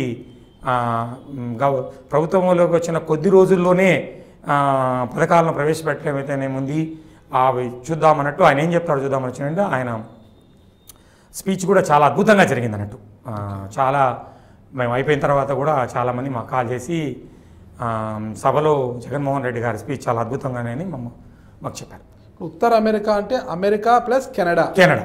అమెరికాలో అన్ని రాష్ట్రాలు. కెనడా కూడా నార్త్ అమెరికా అంటే అదొక ఖండం. ఓకే. నార్త్ అమెరికా ఖండనానికి అమెరికా కెనడా రెండు వస్తాయి అన్నట్టు ఒక ఖండం. అనమాట. ఈ మొత్తంలో మీరు పార్టీని విస్తృత స్థాయిలో తీసుకెళ్ళి అక్కడ పారిశ్రామికవేత్తలను ఇక్కడికి తీసుకురావడము పార్టీ కార్యక్రమాలు అక్కడ పార్టీను ప్రభుత్వ పరంగా ఇప్పుడు ఈ పార్టీదేమో ఆ. కన్వీనర్గా అమెరికా కన్వీనర్గా నాది నా బాధ్యత. ఓకే. నేను చాలా గర్వపడతాను అదొకటి. ప్రభుత్వ పరంగా ప్రభుత్వ ప్రతినిధి కాబట్టి government state government of Andhra Pradesh represent చేస్తూ ఇక్కడ నాకు జగనన్న చెప్పాడు ఎటువంటి నీకు పూర్తి స్థాయిలో మా మద్దతు ఉంటుంది మన వాళ్ళని ఇక్కడికి తీసుకొచ్చి ఆయన స్పీచ్లో కూడా చెప్పాడు అన్నట్టు రండి మీకు ఏం కావాలన్నా కూడా నేను చేస్తాను. మా రాష్ట్ర ప్రభుత్వం నుంచి కావాల్సిన సహాయ సహకారాలు మీకు ఎప్పుడు ఉంటాయని ఆయన బహిరంగ సభలో అనౌన్స్ చేశాడు. ప్రభుత్వ ప్రత్యేక ప్రతినిధిగా మీరు అంతా కలవడము వాళ్ళని అక్కడ పెట్టుబడిదారులను పార్టీ పరంగా మా పార్టీ శ్రేణులందరినీ చేరడము వాళ్ళని ఇంకా మోటివేట్ చేసుకుంటూ వాళ్ళకు ఎట్లా మనం రెండు బాధ్యతలు ఇప్పుడు మీరు. పార్టీని అక్కడ బలోపేతం చేస్తూనే ప్రభుత్వ ప్రత్యేక ప్రతినిధిగా పారిశ్రామికతను తీసుకురావడము ఇక్కడ ప్రభుత్వానికి వాళ్ళు చేదోడు వాదోడు ఉండేటట్లు చేయడము మీ బాధ్యత అనమాట అవును రెండు బాధ్యతలను మీరు భుజానికి ఎత్తుకున్నారు. అవును ఇంకా కొన్ని కూడా కల్చరల్గా మన తెలుగు అభివృద్ధి చెందినవి అక్కడ తెలుగు వాళ్ళకి చేయడం అయితేనేముంది ప్రభుత్వ పథకాలు ఇక్కడ జరుగుతా ఉండే ఆ, జగన్ గారి ప్రభుత్వంలో జరుగుతా ఉండే అభివృద్ధి సంక్షేమ కార్యక్రమాలని ఎప్పటికప్పుడు ఎన్ఆర్ఐకి తెలియజేస్తూ తద్వారా వాళ్ళకి ఏమన్నా వాళ్ళ కుటుంబాలకు ఏమన్నా బెనిఫిట్ చెందుతా అంటే వాళ్ళకు చేరు ఎవరన్నా మిస్ అంటే చేరువేయడం కానివ్వండి. తర్వాత ముఖ్యంగా జగనన్న నాకు చెప్పింది ఏంటంటే విద్యార్థులు. ఇప్పుడు ఆంధ్రప్రదేశ్ నుంచి అమెరికాకు ప్ర భారతదేశం నుంచి వచ్చే అందరి విద్యార్థుల కన్నా ఎక్కువ శాతం ఆంధ్రప్రదేశ్ నుంచి వస్తారు. చదువుకునేదానికి మాస్టర్స్ చదువుకునేదానికి వాళ్ళు ఈ మధ్య అక్కడ ఉండే పరిస్థితులకు అనుకూలం బట్టి కొంత ఇబ్బందులు లోనవుతున్నారు వాళ్ళను మనం వాళ్ళకు మనం తగినంత మద్దతు ప్రకటించి వాళ్ళకి ఏదైనా సహాయ సహకారంగా ఉంటే అది ప్రభుత్వం నుంచి కానివ్వండి పార్టీ వైఎస్ఆర్ కాంగ్రెస్ పార్టీ తరపున కానివ్వండి వ్యక్తిగతంగా నా సైడ్ నుంచి కానివ్వండి వాళ్ళకు మద్దతు ఇచ్చి మిమ్మల్ని అందరినీ ఆపద సరైన సమయంలో ఆదుకుండే ప్రభుత్వాన్ని మేము రిప్రజెంట్ చేస్తున్నాం అన్న మెసేజ్ పంపించాలని ఆయన తప్పన మీరు అందరి మీద ఫోకస్ చేస్తున్నారు అంటే ప్రత్యేకించి ఎందుకంటే అమెరికా పౌరసత్వం ఉండేవారు ఉంటారు భారతీయ పౌరసత్వంతో అక్కడ ఉండేవారు ఉన్నారనమాట ఇక్కడ. అంటే ఇక్కడ వర్గాలకు విభజన అంటే అమెరికా పౌరసత్వం ఉన్న పక్కన పెట్టి కేవలం భారతీయ ప- మన పౌరసత్వం అంటే ఇక్కడ ఇండియన్ పౌర సిటిజన్షిప్ ఉన్న వారిని మాత్రం టార్గెట్ చేసి ఏమన్నా ప్రభుత్వ కార్యక్రమాల్లో వాళ్ళని కలపడం కావచ్చు ఒక ప్రభుత్వ ప్రభుత్వ ప్రత్యేక ప్రతినిధిగా వాళ్ళని ఇక్కడ ఆహ్వానించడం కావచ్చు ఏదైనా జరుగుతుందంటారా? రెండు. ఎట్లంటే ఇప్పుడు గతంలో వెళ్ళిపోయి అక్కడ పౌరసత్వ స్వీకరించిన వాళ్ళు ఆర్థికంగా బాగుండే వాళ్ళు కూడా చాలామంది మాతృదేశానికి కానీ మా సొంత ఊరికి కానీ ఏమైనా చేయాలనేది కొంత ఉంటుంది చాలా మంది దగ్గర మేము గమనిస్తూ ఉంటాం నాగరాజ్ గారు. సో వాళ్ళను మోటివేట్ చేయడం ఏదన్నా మీరు ఇక్కడ ఒక స్కూల్ కట్టించడమా లేకపోతే ఒక ప్రభుత్వ ఆసుపత్రిలో ఒక ప్రత్యేకమైన ఇప్పుడు ఏదో ఒక డిపార్ట్మెంట్కు సపోర్ట్ చేయడమా అనేది వాళ్ళని మోటివేట్ ఎందుకంటే వాళ్ళందరూ ఆర్థికంగా స్థిరపడి ఉంటారు. అది ఆ చేయడమా? వాళ్ళ సలహాలు ఏమైనా ఉన్నాయా? జగన్ అది కూడా చెప్పాడు. రాష్ట్రంలో ఇక్కడి నుంచి అప్పుడు పరిస్థితులు వెళ్ళిపోయిన వాళ్ళకు కొంత అవగాహన కూడా ఉంటుంది. మాకన్నా ఎక్కువ ఉండే వాళ్ళు ఏదైనా ప్రభుత్వ సలహాలు ఉన్నాయా ఇచ్చేటి అవి ఉంటే కూడా చేర్పిస్తాము. అవి వాళ్ళకి చేరవేస్తే కూడా దాన్ని మనము అధ్యయనం చేసి ఒకసారి అసలు దాంట్లో ఉండే నిజానిజాలు ఎంత వాటిని ఏం చేయగలం అనేది అనే దాన్ని కూడా చేయడం అనేది ఒకటి. రెండోది ఇక్కడి నుంచి పోయి అక్కడ కూడా ఇంకా ఇప్పుడు భారతదేశంలో కూడా అవకాశాలు పెరిగిపోయినాయి. ఇప్పుడు తొంభై దశకం ముందు తర్వాత వేరు తొంభై దశకం తర్వాత ఆంధ్రప్రదేశ్ పెరిగి ఈరోజు అన్నీ వచ్చాయి. మీకు తెలియదు కాదు ఇంటర్నెట్ ఫెసిలిటీ కానివ్వండి మలుగు సదుపాయాలు కానివ్వండి ఇప్పుడు అక్కడే స్థిరపడి అనే అనేది అనేది ఏం లేదు చాలామంది కూడా. భారతదేశంలో కూడా ఆంధ్రప్రదేశ్లో కూడా అన్ని అవకాశాలు ఉన్నాయి. బాగుంది. సమైక్య ఆంధ్రప్రదేశ్ ఉన్నప్పుడు రాజశేఖర రెడ్డి గారు ముఖ్యమంత్రి ఉన్నప్పుడు చాలామంది వచ్చేసారు కూడా. మళ్ళా రాజశేఖర రెడ్డి గారు మరణానంతరం రాష్ట్రంలో జరిగిన పరిస్థితులు అయితేనేముంది రా రాష్ట్రం విడిపోయిన పరిస్థితులు ఏముంది? చాలామందికి నమ్మకం లేదన్నట్టు. ఇప్పుడు ఆ నమ్మకాన్ని కలిగించి మళ్ళా వచ్చి ఇక్కడ రావాలనే వాళ్ళు ఇక్కడ కూడా అన్ని సదుపాయాలు ఉన్నాయి. మనం ఇక్కడ కూడా మంచి జీవనాన్ని సాగించనే నమ్మకం ఉంది ఇప్పుడు నారాజు గారు. వాళ్ళందరినీ మోటివేట్ చేయడం. రాజశేఖర రెడ్డి గారి పీరియడ్ చంద్రబాబు నాయుడు గారి పీరియడ్ జగన్మోహన్ రెడ్డి గారి మూడు పీరియడ్లు జరుగుతున్నాయి. అది జరిగిపోయినాయి రెండు. మూడో పీరియడ్ జగన్మోహన్ రెడ్డి గారి పీరియడ్ జరుగుతుంది. ఇవి ఎవరు ముఖ్యమంత్రిగా ఉన్నప్పుడు అంటే అమెరికాలో ఉన్న మన ప్రవాస ఆంధ్రులకు ఎక్కువ నమ్మకం ఉండేది ఏపీ ప్రభుత్వం పైన? రాజశేఖర రెడ్డి గారు ఉన్నప్పుడే. ఓకే. ఇప్పుడు చంద్రబాబు నాయుడు గారు ఏంటంటే ఉత్త మీడియా ప్రాపగాండా. తనకున్న వనరులన్నింటినీ తనకు వచ్చిన అన్ని శక్తులను అడ్డబోసి మీడియా ద్వారా చెప్పించుకోవడము మన హైటెక్ సిటీ రోంత కట్టి దాని హిస్టరీ కూడా మీకు అంతా తెలుసు. ప్రజలకంతా మన కేసీఆర్ గారు ముఖ్యమంత్రి కాగానే చెప్పాడు దాన్ని. అసలు దాని పుట్టుపూర్వతలన్నీ ఆంధ్రప్రదేశ్లో ఉండే వాళ్ళందరికీ చాలామందికి కూలంకుషంగా ఆయన విమర్శ చెప్పాడు కదా. అసలు ఆ సెంటర్ పెట్టాల్సిన అవకాశం ఎటు వచ్చింది? దాంట్లో రాజీవ్ గాంధీ ప్రమేయం ఏముంది? నేతిమిరి జనార్దన్ గారి ప్రమేయం ఏముంది? చంద్రబాబు చేసుకునింది ఏంది? దాని తర్వాత ముఖ్యమంత్రి అయిన రాజశేఖర రెడ్డి గారు ఉన్నప్పుడు అసలు ఆ ఎగుమతులు సాఫ్ట్వేర్ దిగుమతులు ఎంత డబ్బులు వచ్చినాయని అంతా చెప్పారు ఆయనే. సో కాబట్టి జరిగింది ఏదైనా ప్రభాసాంధ్రులకు కానివ్వండి సాఫ్ట్వేర్ పరంగా కానివ్వండి ఏ రక ఏ ఏ రంగంలో అయినా కూడా అది అది దాని ఒక సువర్ణ రాజ్యం అని చెప్పచ్చు కదా మహానది. ఆయన ఆధ్వర్యంలో ఉన్నప్పుడే జరిగింది. దానికన్నా బాగా ఇప్పుడు జగనన్న దాంట్లో జరుగుతుంది ఖచ్చితంగా. ఎందుకు ఎవరికైనా కొన్ని అపోహలు ఉన్నాయంటే రాష్ట్రం విడిపోయిన పరిస్థితిలో ఆ, కేంద్ర ప్రభుత్వం ప్రత్యేక హోదా ఇస్తాదా? ఏదైతే వాళ్ళు వెంకటేశ్వర స్వామి పాదాల సాక్షిగా ఇప్పుడు రెండోసారి ప్రధానమంత్రిగా ఎన్నికైన నరేంద్ర మోడీ గారు ఏం చెప్పారో మీకు కూడా తెలుసు. మనం కొత్తగా చెప్పాల్సిన అవసరం ఏముంది? ప్రత్యేక హోదా ఇస్తామని పది సంవత్సరాలంటే ఒకరు ఇప్పుడు ప్రస్తుతం ఉపరాష్ట్ర ముఖ్యమంత్రిగా ఉన్న పదేంది? పది కాదు పదహైదు పార్లమెంట్లో అయితేనే ఉంది. ఆ తిరుపతి వెంకటేశ్వర స్వామి పాదాల దగ్గర చెప్పినారు. అవి తీసుకొస్తే జగన్మోహన్ రెడ్డి గారు పోరాట తీసుకొస్తారని ఒక నమ్మకము ఆయన ఒక్కడే ఆయన ఒక్కడే తీసుకురాగలగల తీసుకురాగల శక్తి ఉండేవాడని నమ్మకంతో ఈ రాష్ట్రంలో ఇంకా మంచి ఐదు ఇస్తామంటే ఇంకా ఆయన అడిగారు పది కావాలన్నారు అప్పుడు. పది కావాలన్నారు పదహైదు కూడా అన్నారు నారాజు గారు. మీరు కొట్లాడినంత పార్లమెంట్లో అలా చెప్పి పార్లమెంట్ సాక్షిగా అన్నాడు. పార్లమెంట్ అంటే ఇది మామూలు వాళ్ళ అబద్ధాలు చెప్పుకోవడం అవతల వాళ్ళకి ఇతరులకు ఉండొచ్చాం కానీ మన వెంకటేశ్వర స్వామి కలియుగ మహాదైవం ప్రపంచాన్ని ఆయన వైపు చూసే దేవుని కానీ కిందగా చెప్పారు కదా. ఒక ముగ్గురు కూర్చున్నారు ఆ రోజు ఎలక్షన్ ఓటు అందుకోవడానికి. అక్కడ అధికార పక్షంలో ఉండే పార్టీ ఇక్కడ అధికార పక్షంలో ఉండే పార్టీ. ఇక్కడ అధికార పక్షంతో లాలు చేయని ఒక నటుడు. అందరు కలుసుకొని చెప్పారు కదా డాష్ మీద చెప్పలేదు చెప్పండి మీరు? అందరికీ తెలుసు. ఏం చేసినారు? ఏం చేయాలి? ఇప్పుడు జగన్మోహన్ రెడ్డి తేగలరు దీన్ని. జగన్మోహన్ రెడ్డి తీసుకొస్తాడు ఈ రాష్ట్రాన్ని అభివృద్ధి పథకం వైపు తీసుకుపోతాడు. ఇంకొక పదహైదేళ్ళు ఆంధ్రప్రదేశ్కు ముఖ్యమంత్రిగా ఉంటాడు. ప్రత్యేక హోదా ఇవ్వడం కుదరదు. ఇక అది ముగిసిపోయిన అధ్యాయం అంటూ కేంద్రం ప్రకటించింది కదా. ఎందుకు ముగిసిపోయిన అధ్యాయం? మనం జనరల్ లాంటి ప్రకారం తీసుకున్నప్పుడు పక్క నుండి అన్ని రాష్ట్రాలకు ఇచ్చారు. వాటిని రద్దు చేస్తున్నామంటున్నారు కదా కేంద్రం. అది తర్వాత విషయాలు మాట్లాడదాం. రద్దు చేస్తారనే విషయం పక్కన పెట్టేస్తే పార్లమెంటు సాక్షిగా రాష్ట్రాన్ని ఇచ్చేప్పుడు రెండు వైపులోళ్ళు ప్రతిపక్ష పార్టీ కానివ్వండి ఆ రోజు ప్రతిపక్షంలో ఉన్న బీజేపీ కానివ్వండి అధికార పక్షంలో ఇద్దరు కలిసి ఒప్పుకున్నారు. అవునా? ప్ర- ప్రత్యేక హోదా ఇస్తామని. తరువాత అధికారంలోకి వచ్చిన బీజేపీ ప్రధానమంత్రి స్థాయిలో ఉండే ఆయన ఎన్నికల ప్రచారానికి వచ్చినప్పుడు కూడా మనకు ప్రత్యేక ప్రత్యేక హోదాకు ఆ రోజు అనుమతి అంటే సంతకం కాలేదు అంటారు కదా ఆమోదం కాలేదు అంటారు అది? ప్రత్యేక హోదాకు సంబంధించి. బిల్లులో అయితే పెట్టారు. బిల్లు ఆమోదైనా మనకి రాష్ట్రం డివైడ్ అయింది. అవునా? మరి ఎట్ట కాలేదంటారు? ఆ బిల్లు డివైడ్కి ప్రత్యేక హోదాకు సంబంధం లేదు ఇక్కడ. రాష్ట్రం డివైడ్ అయినప్పటికీ డివైడ్ డివైడ్కి అయిపోయింది బిల్లు ఓకే అయిపోయింది. అదే బిల్లులో ఆ బిల్లును పెట్టినప్పుడు ప్రత్యేక హోదా అనేది మళ్ళా ఆ బిల్లు పెట్టినప్పుడు బిల్లులో ప్రత్యేక హోదా అనేది ఇస్తే రాష్ట్ర విభజన అనేది జరిగితే ఆంధ్రప్రదేశ్ రాష్ట్రానికి కావాల్సిన ఇవ్వాల్సిన దాంట్లో ప్రత్యేక హోదా అనేది ఒక భాగం. అవునా? మరి రాష్ట్రాన్ని విడగొట్టి వాళ్ళకి బుద్ధి రీతిలో విడగొట్టేసి ఇప్పుడు ప్రత్యేక హోదా ఇవ్వడం మనం ఏం రెండు పార్టీలకు ఏం న్యాయము? దానికి దాని కానీ దానికి ప్రజల మనోభావాన్ని చెప్తాను నేను. అట్లా చెప్పి ప్రజలు నమ్మినారు కాబట్టి కాంగ్రెస్ పార్టీ తుడుచుకుపట్టిపోయింది నమ్ముతున్నారు కాబట్టి ప్రజలు చెప్పి మోసం బీజేపీ పరిస్థితి అంతే. వాళ్ళ ఎగ్జిస్టెన్సే లేకుండా పోయింది రాష్ట్రంలో. సో ఎందుకది? ఆంధ్రప్రదేశ్ ప్రజలను మీరు రెండు ఇద్దరు కలిసి మోసం చేసినారని నమ్ముతున్నారు. పోరాట చేయగల సత్తా ఉండేది ఏకైక నాయకుడు జగన్మోహన్ రెడ్డి గారనే గత ఎన్నికల్లో అంత స్పష్టమైన తీర్పు. రెండు రాష్ట్రాలకు కావాల్సినంత మెజారిటీ నూట యాభై ఒక్క సీట్లు రెండు రాష్ట్రాలు కలిపితే రెండు వందల తొంభై నాలుగు సీట్లు అంటే కావాల్సినంత మెజారిటీ ఎందుకు ఇచ్చినారు ప్రజలు? ప్రత్యేకించి రైతులు మహిళలు విద్యార్థులు అన్ని రంగాల వాళ్ళు కూడా అన్ని అన్ని వర్గాల వారు కూడా సమాజంలో అన్ని వర్గాలు కూడా జగన్మోహన్ రెడ్డి గారు ఒక్కడిని చారిత్రాత్మకమైన విజయం.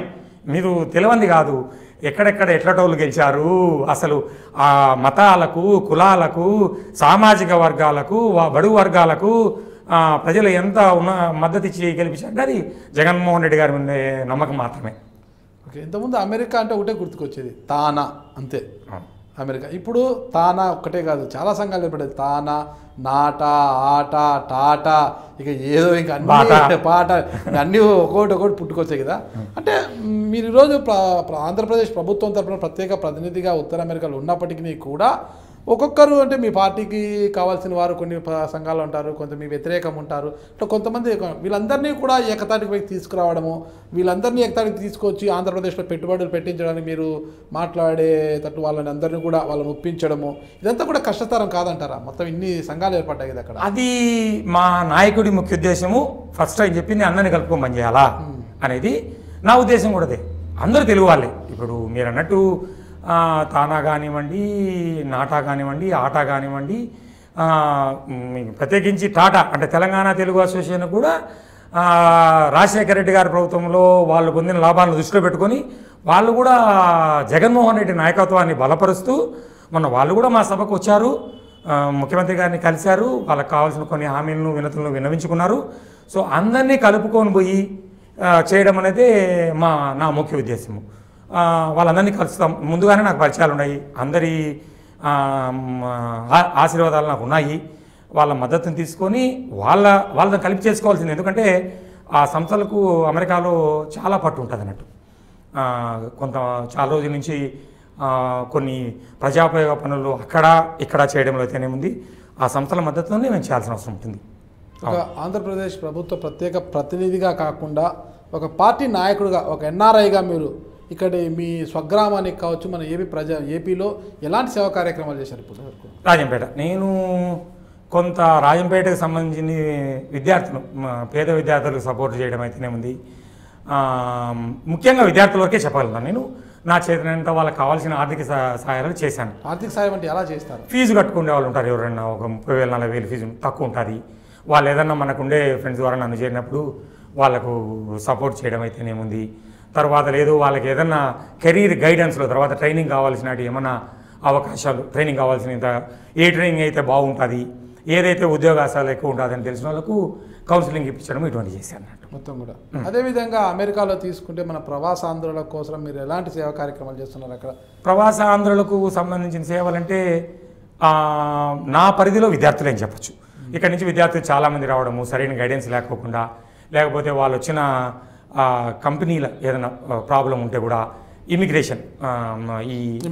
ప్రాబ్లమ్స్ ఏమైనా ఉంటే నన్ను అప్రోచ్ అయితే పార్టీ పరంగా నాకున్న నెట్వర్క్లో నన్ను అప్రోచ్ అయినప్పుడు వాళ్ళని మాట్లాడి వాళ్ళకి సలహాలు ఇచ్చి వాళ్ళతో అటార్నీలతో మాట్లాడించకండి ఏదైనా కొంచెం ఏదైనా మోరల్ సపోర్ట్ కావాలంటే చేయడం కానివ్వండి ఉద్యోగ అవకాశాలు ఇప్పించడం కానివ్వండి ఉద్యోగ అవకాశాలకు కావాల్సిన ఏదైనా ట్రైనింగ్స్ అటువంటి ఇవ్వడం కానివ్వండి చేశాను ప్రజెంట్ ప్రవాసాంధ్రులు అమెరికాలో ఎదుర్కొంటున్న సమస్యలు ఎలాంటివి అసలు? అంటే వ్యక్తిగత సమస్యలు ఉంటాయి కొన్ని. దాంట్లో మనం పెద్దగా చేసి అంటే అక్కడ ఏదైనా యాక్సిడెంట్ జరిగినప్పుడు కానివ్వండి వాళ్ళని చేరడం వాళ్ళకి ఏదైనా సపోర్ట్ చేయడము వీటిల్లో ఈ తెలుగు సంస్థలు ఎక్కువ కీ వాళ్ళు తీసుకుంటారు రెస్పాన్సిబిలిటీ. పార్టీ పరంగా మేము కూడా వాళ్ళకి చేరేమన్నా కావాలని చేయడం ఒకటి. తర్వాత పార్టీకి సంబంధించినటిని చేయడం వ్యక్తిగతంగా మేము చేయగలిగే లిమిటేషన్సే ఉంటాయి. ఈ విద్యార్థుల పరంగా అయితే చాలామందికి కొంత నెట్వర్క్ ఉండదు వాళ్ళకు. వాళ్ళని మేము చే దగ్గరికి తీసుకోవడం వాళ్ళకి ఏదైనా షెల్టర్ కావాలంటే కొద్ది రోజులు మా దగ్గర పెట్టుకోవడము ఇట్లాంటి కార్యక్రమాలు చేస్తాం. ఇటీవల అమెరికాలో ఈ నల్ల జాతీయుల చేతిలో మన ఆంధ్రులు ఎక్కువ కూడా మృత్యువాత పడుతున్నారు అంటే కాల్పులు జరపడం ఇలాంటివన్నీ ముందు నుంచి కూడా ఉంది నాకు దగ్గర. అక్కడక్కడ చాలా తక్కువే. భారతదేశంలో కూడా మీకు తెలవంది కాదు అనేది అనేది దాని మీద నేను ప్రత్యేకించి చెప్పలేను కానివ్వండి. కొంత కొంత ఎక్కడన్నా ఒకటి రెండు మనిషి ఎక్కువ అని మాత్రం అన అని చెప్పలేను ముందు నుంచి కూడా ఉన్నాయి. ఇప్పుడు మీడియా ఎక్కువ కావడం కారణంగా ఉంది ఆ, దాని ద్వారా చేరడం తప్ప నుంచి ముందు కూడా అక్కడక్కడ చిన్న చిన్నవి జరుగుతూనే ఉంటాయి. మన జాగ్రత్తలు మనం తీసుకుంటే సరిపోతుంది అన్నట్టు ఓకే, అక్కడ ఎవరన్నా అంటే మృతి చెందిన అంటే ప్రవాసాంధ్రులు కావచ్చు ఇక్కడ నుంచి అక్కడికి వచ్చిన మృతి చెందిన వారిని భారతదేశానికి తీసుకురావడం ఇలాంటి పరిస్థితుల్లో మీరు ఎలాంటి సహాయ సహకారాలు అందిస్తారు వాళ్ళందరికీ? చేద్దాం. ఇమీడియట్గా వాళ్ళని రీచ్ వాళ్ళని రీచ్ అవుతాం. వాళ్ళకి సంబంధించిన వాళ్ళు మనకు తెలిస్తే వాళ్ళని పట్టుకొని అసలు ఏం ప్రాబ్లం ఉన్నది? ఈ నేను ఇంతకుముందు మీతో చెప్పినట్టు వీటికంతా ఈ తెలుగు సంస్థలు ఏవైతే చాలా ఫాస్ట్గా పనిచేస్తాయి. వాళ్ళకు సిస్టమ్ ఉంటుంది దానికి ఒక కమిటీ ఉంటుంది అన్నట్టు. వాళ్ళ ఈ డెత్ సర్టిఫికేట్ ఇప్పించడం ఫాస్ట్గా తొందరగా బాడీని క్లియరెన్స్ చేయించడం మన ఇండియన్ కాన్సులేట్లో దాన్ని ఇండియాకు పంపించడం అన్నట్టు. ఆర్థికంగా ఏదైనా సాయం కావాల్సి వస్తే ఆ సంస్థలు వాళ్ళ దగ్గర కొంత ఫండింగ్ ముందుగానే చేసుకుంటారు నాగరాజు గారు. అవసరమైతే మేము కూడా ఆ సంస్థలో కావాలని అడుగుతాం చాలా పరిస్థితుల్లో వాళ్ళే కేర్ తీసుకుంటారు ఇటీవల అమెరికాకి వెళ్ళిన అంటే ప్రవాసాంధ్రులు ఈ రాజకీయ చైతన్యం ఎక్కువ అయిపోతుంది ఎక్కువ కూడా రాజకీయాల పట్ల ఆసక్తులు అవుతున్నారు. ఎన్ఆర్ఎల్ అంతా కూడా రాజకీయాల వైపు మరలుతున్నారు అంటున్నారు. మిమ్మల్నే చెప్పాలా? మీడియానే కారణం అది. ఎక్స్పోజ్ కావాలంటే రాజకీయాలు ఒకటే అని తమాషకుంటున్నాను బట్ జనరల్గా ఏంటంటే ఎవరికైనా కొంత ఆర్థికంగా బలపడిన తర్వాత ఒక ఒక వర్గం ఒకరికి కొందరికి స్వతహాగా విద్యార్థి దశ నుంచి మీ తెలుగు ఆర్థికంగా బాగున్నా లేకపోయినా కూడా రాజకీయాల పైట ప్రజాసేవల పట్ల స్థానిక సమస్యల మీద కొంత అవగాహన ఉండేవాళ్ళు. వాళ్ళు ఎప్పటికి ఉన్నప్పటికీ ఒక రాజకీయాలు అనేదే ఒక ఈజీ మార్గము వాటిని సాల్వ్ చేయడంలో అనేది ఒక పందా ఉంటుంది అన్నట్టు సో ఈ రెండు ద్వారా కొంతమంది వాటి వైపు ఎక్కువ దృష్టి మరలిస్తారు ఈరోజు వచ్చిన కర్నూలు ఎమ్మెల్యే హఫీజ్ ఖాన్ కూడా అమెరికా నుంచి వచ్చి అవును నాకు మంచి మిత్రుడు? ఆయన కూడా సాఫ్ట్వేర్ ఉన్నాడు అమెరికాలో ఉన్నప్పటి నుంచి తెలుసు. అమెరికాలో నుండి వచ్చాడు అవును. ఆయన కూడా అక్కడ మంచి లైఫ్ ఏమైంది వ్యక్తిగత కారణాల ద్వారా తనకు ఫ్యామిలీ బ్యాక్గ్రౌండ్ కూడా పొలిటిక్స్ ఉండడం పొలిటికల్ ఉండడం వలన జగన్మోహన్ రెడ్డి నాయకత్వాన్ని నాయకత్వ లక్షణాలను ఆయనతో పాటు నడవడం అనేది ఒక అదృష్టంగా భావించి తనతో ఉంటే తాను కూడా రాజకీయంగా అభివృద్ధి చెంది ప్రజాసేవ చేయొచ్చు అనే నమ్మిన వాళ్ళు ఆయన ఒకడు. మా శ్రీకాంత్ రెడ్డి గారు కూడా చీఫ్ విప్ గారు కూడా చాలా కంఫర్టబుల్గా ఆయన అమెరికా లైఫ్లో ఉన్నాడు. ఎందుకంటే వాళ్ళు కూడా పెద్ద రాజకీయ కుటుంబం. వాళ్ళ నాన్నగారు గడికోట కుటుంబం. రాజకీయ సమితి ప్రెసిడెంట్గా ఉన్నాడు. చాలా స్టేబుల్ లైఫ్ అయింది ఆయన కూడా రాజశేఖర రెడ్డి గారిని చూసి ఆ రాజకీయాలు ఎప్పుడు రాజశేఖర గారు చెప్పేవారు కూడా శ్రీకాంత్ నీకు దేనికి ఇదంతా అని. రాజశేఖర రెడ్డి గారు అమెరికాకు వచ్చినప్పుడు శ్రీకాంత్ అన్న ఉండేవాడు అన్నట్టు. అయినప్పటికీ ప్రయాస ఒకటే మార్గం మనము అన్నట్లు ఆయన ఎక్కడ ఉండేవారు అమెరికాలో? ఆయన కొన్ని ప్రాంతాల్లో ఫిలడాల్ఫియాలో ఉండేవాడు. మన హఫీజ్ ఖాన్ గారేమో నార్త్ కేరళ ఫిలడాల్ఫియా ఇప్పటికీ హఫీజ్ ఖాన్ వాళ్ళ రిలేషన్స్ అంతా అమెరికాలో ఉంటారు. శ్రీకాంత్ అన్న కూడా దండిగా మంది బంధువులు ఉంటారు అమెరికాలో. మీకు కూడా బంధువులు దండి ఉన్నారా? లేదు నేను చిన్న కుటుంబం నుంచి వచ్చిన మా కుటుంబం ద్వారా బంధువులు లేరు కానీ ఆత్మ బంధువులు ఎక్కువ నమ్ముతా ఆత్మ బంధువులు ఎక్కువ మంది ఉన్నారు. వాళ్ళకి ఎంతమంది ఉన్నారో నాకు అంతమంది ఆత్మ బంధువులు ఉన్నారని చెప్తాను మీకు అలాగే ఇక్కడ కూడా మంత్రి బొత్స సత్యనారాయణ మంచి ఆత్మీయత ఉంది అని అంటుంటారు అది నా అదృష్టంగా చెప్పాలా? ఆయన చాలా గొప్ప లీడరు. నాకు ఏంటంటే బంధం ఎక్కడి నుంచి చేరిపోయిందంటే రెండు వేల పదహైదు ఆయన పార్టీ చేరినప్పటి నుంచి ప్రతి సంవత్సరము తప్పకుండా రాజశేఖర్ రెడ్డి గారి వర్ధంతికి అమెరికాకు వచ్చేవాళ్ళు ఆయన. ఎన్ని పనులు ఉన్నప్పటికీ.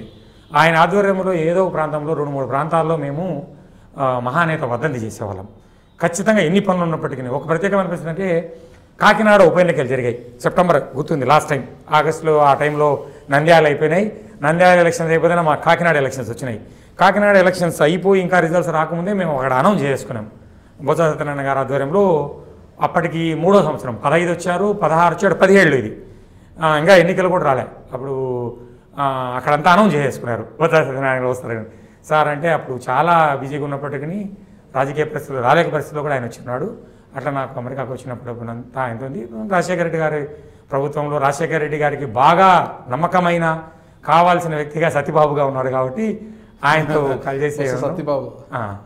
ఒక పార్టీకి విధేయుడుగాను మహానేతకు అత్యంత సన్నిహితుడుగాను ఒక బలమైన నాయకుడుగాను ఆయనతో సన్నిహితాన్ని నేను అదృష్టంగానే భావిస్తాను. ఆయనతో పాటు విజయసాయి రెడ్డి గారు కావచ్చు భూమన కరుణాకర్ రెడ్డి వీళ్ళందరితో కూడా మంచి సంబంధాలు నేర్పుతుంటారు మీరు అసలు. అవును విజయసాయి రెడ్డి గారు నాకు రాజకీయ ఈ భిక్ష అంటే నన్ను ఈ కమిటీ?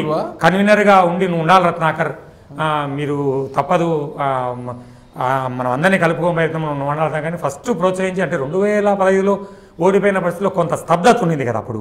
ఏప్రిల్ మాసంలో అప్పుడు కూడా ఆయన ఆఫీసుకు లో మమ్మల్ని పిలిపించి ఇది ఆయనకు చాలామంది ఈ ఈ కన్వీనర్ అమరి వైఎస్ఆర్ కాంగ్రెస్ పార్టీ కన్వీనర్ పదవికి చాలామంది ఆయనను ఉన్నప్పటికీ పోటీలో ఉన్నప్పటికీ నన్ను ఇచ్చి ప్రోత్సహించి మాకు నెలకు ఒకసారి ఫోన్ కాల్లో ఆయన ఎంత బిజీగా ఉన్నప్పటికీ వచ్చి నాకు పార్టీలో చాలా ఎంకరేజ్ చేసిన వాళ్ళు ఆయన ఒకరు. ఈరోజు ఆంధ్రప్రదేశ్ ప్రభుత్వ ప్రత్యేక ప్రతినిధిగా బాధ్యత చేపట్టారు మీరు ఉత్తర అమెరికాలో. దాంతోనే సరిపెట్టుకుంటారా భవిష్యత్తులో ఎమ్మెల్యే కావచ్చు ఎంపీ కావచ్చు ఏదన్నా ఆశించే అవకాశం ఉందంట ఎందుకంటే ఈరోజు చూసుకుంటే చిలకలూరుపేట ఎమ్మెల్యే విడుదల రజనీ గారు. నుంచి వచ్చారు. ఈరోజు పెద్దాపురం సమన్వయకర్త దౌలూరి దొరబాబు గారు అక్కడి నుంచి. వచ్చారు. ఇలా చాలా మంది ఉన్నారు ఇక శ్రీనివాస్ మరి ఎస్కోట శ్రీనివాస్ గారు మర్చిపోయారు ఆయన అమెరికా ఆయనే ఓహాలో. వాళ్ళ వైఫ్ డాక్టరు ఆయన అమెరికా నుంచి వచ్చాడు ఏలూరు ఎంపీ మా శ్రీధర్ గారు అమెరికాలోనే ఇంకా రూట్స్. అమెరికా నుంచి వచ్చిన ఆయనే చాలా మంది ఉన్నారు జగనన్నను ఆ, అమెరికా వాళ్ళందరినీ ఎక్కువ ఆకర్షించాడు. చాలా మంది ఉన్నారు భవిష్యత్తులో మిమ్మల్ని కూడా వాళ్ళు ఏమైనా ఎమ్మెల్యే కావచ్చు ఎమ్మెల్యే ఎంపీ కావచ్చు చూడొచ్చా?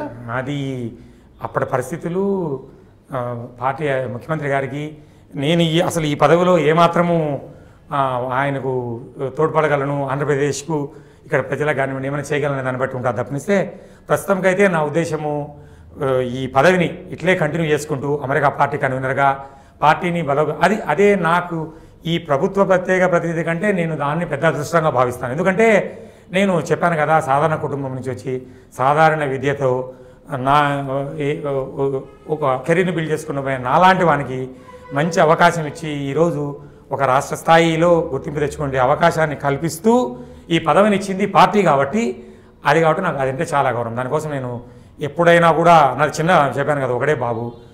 చిన్న కుటుంబం కాబట్టి నాకేం పెద్దగా కుటుంబపరంగా కూడా ఆంక్షలు ఏం లేవు నాగరాజు గారు.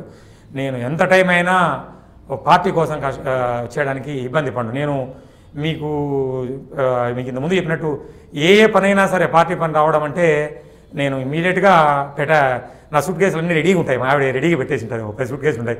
నేను పెట్టడం ఎత్తుకొని రావడం ఒకరోజు అనుకుని ముందు అనుకొని వచ్చేస్తూ ఉంటాను నాకు అది చాలా అదృష్టంగా భావిస్తాను.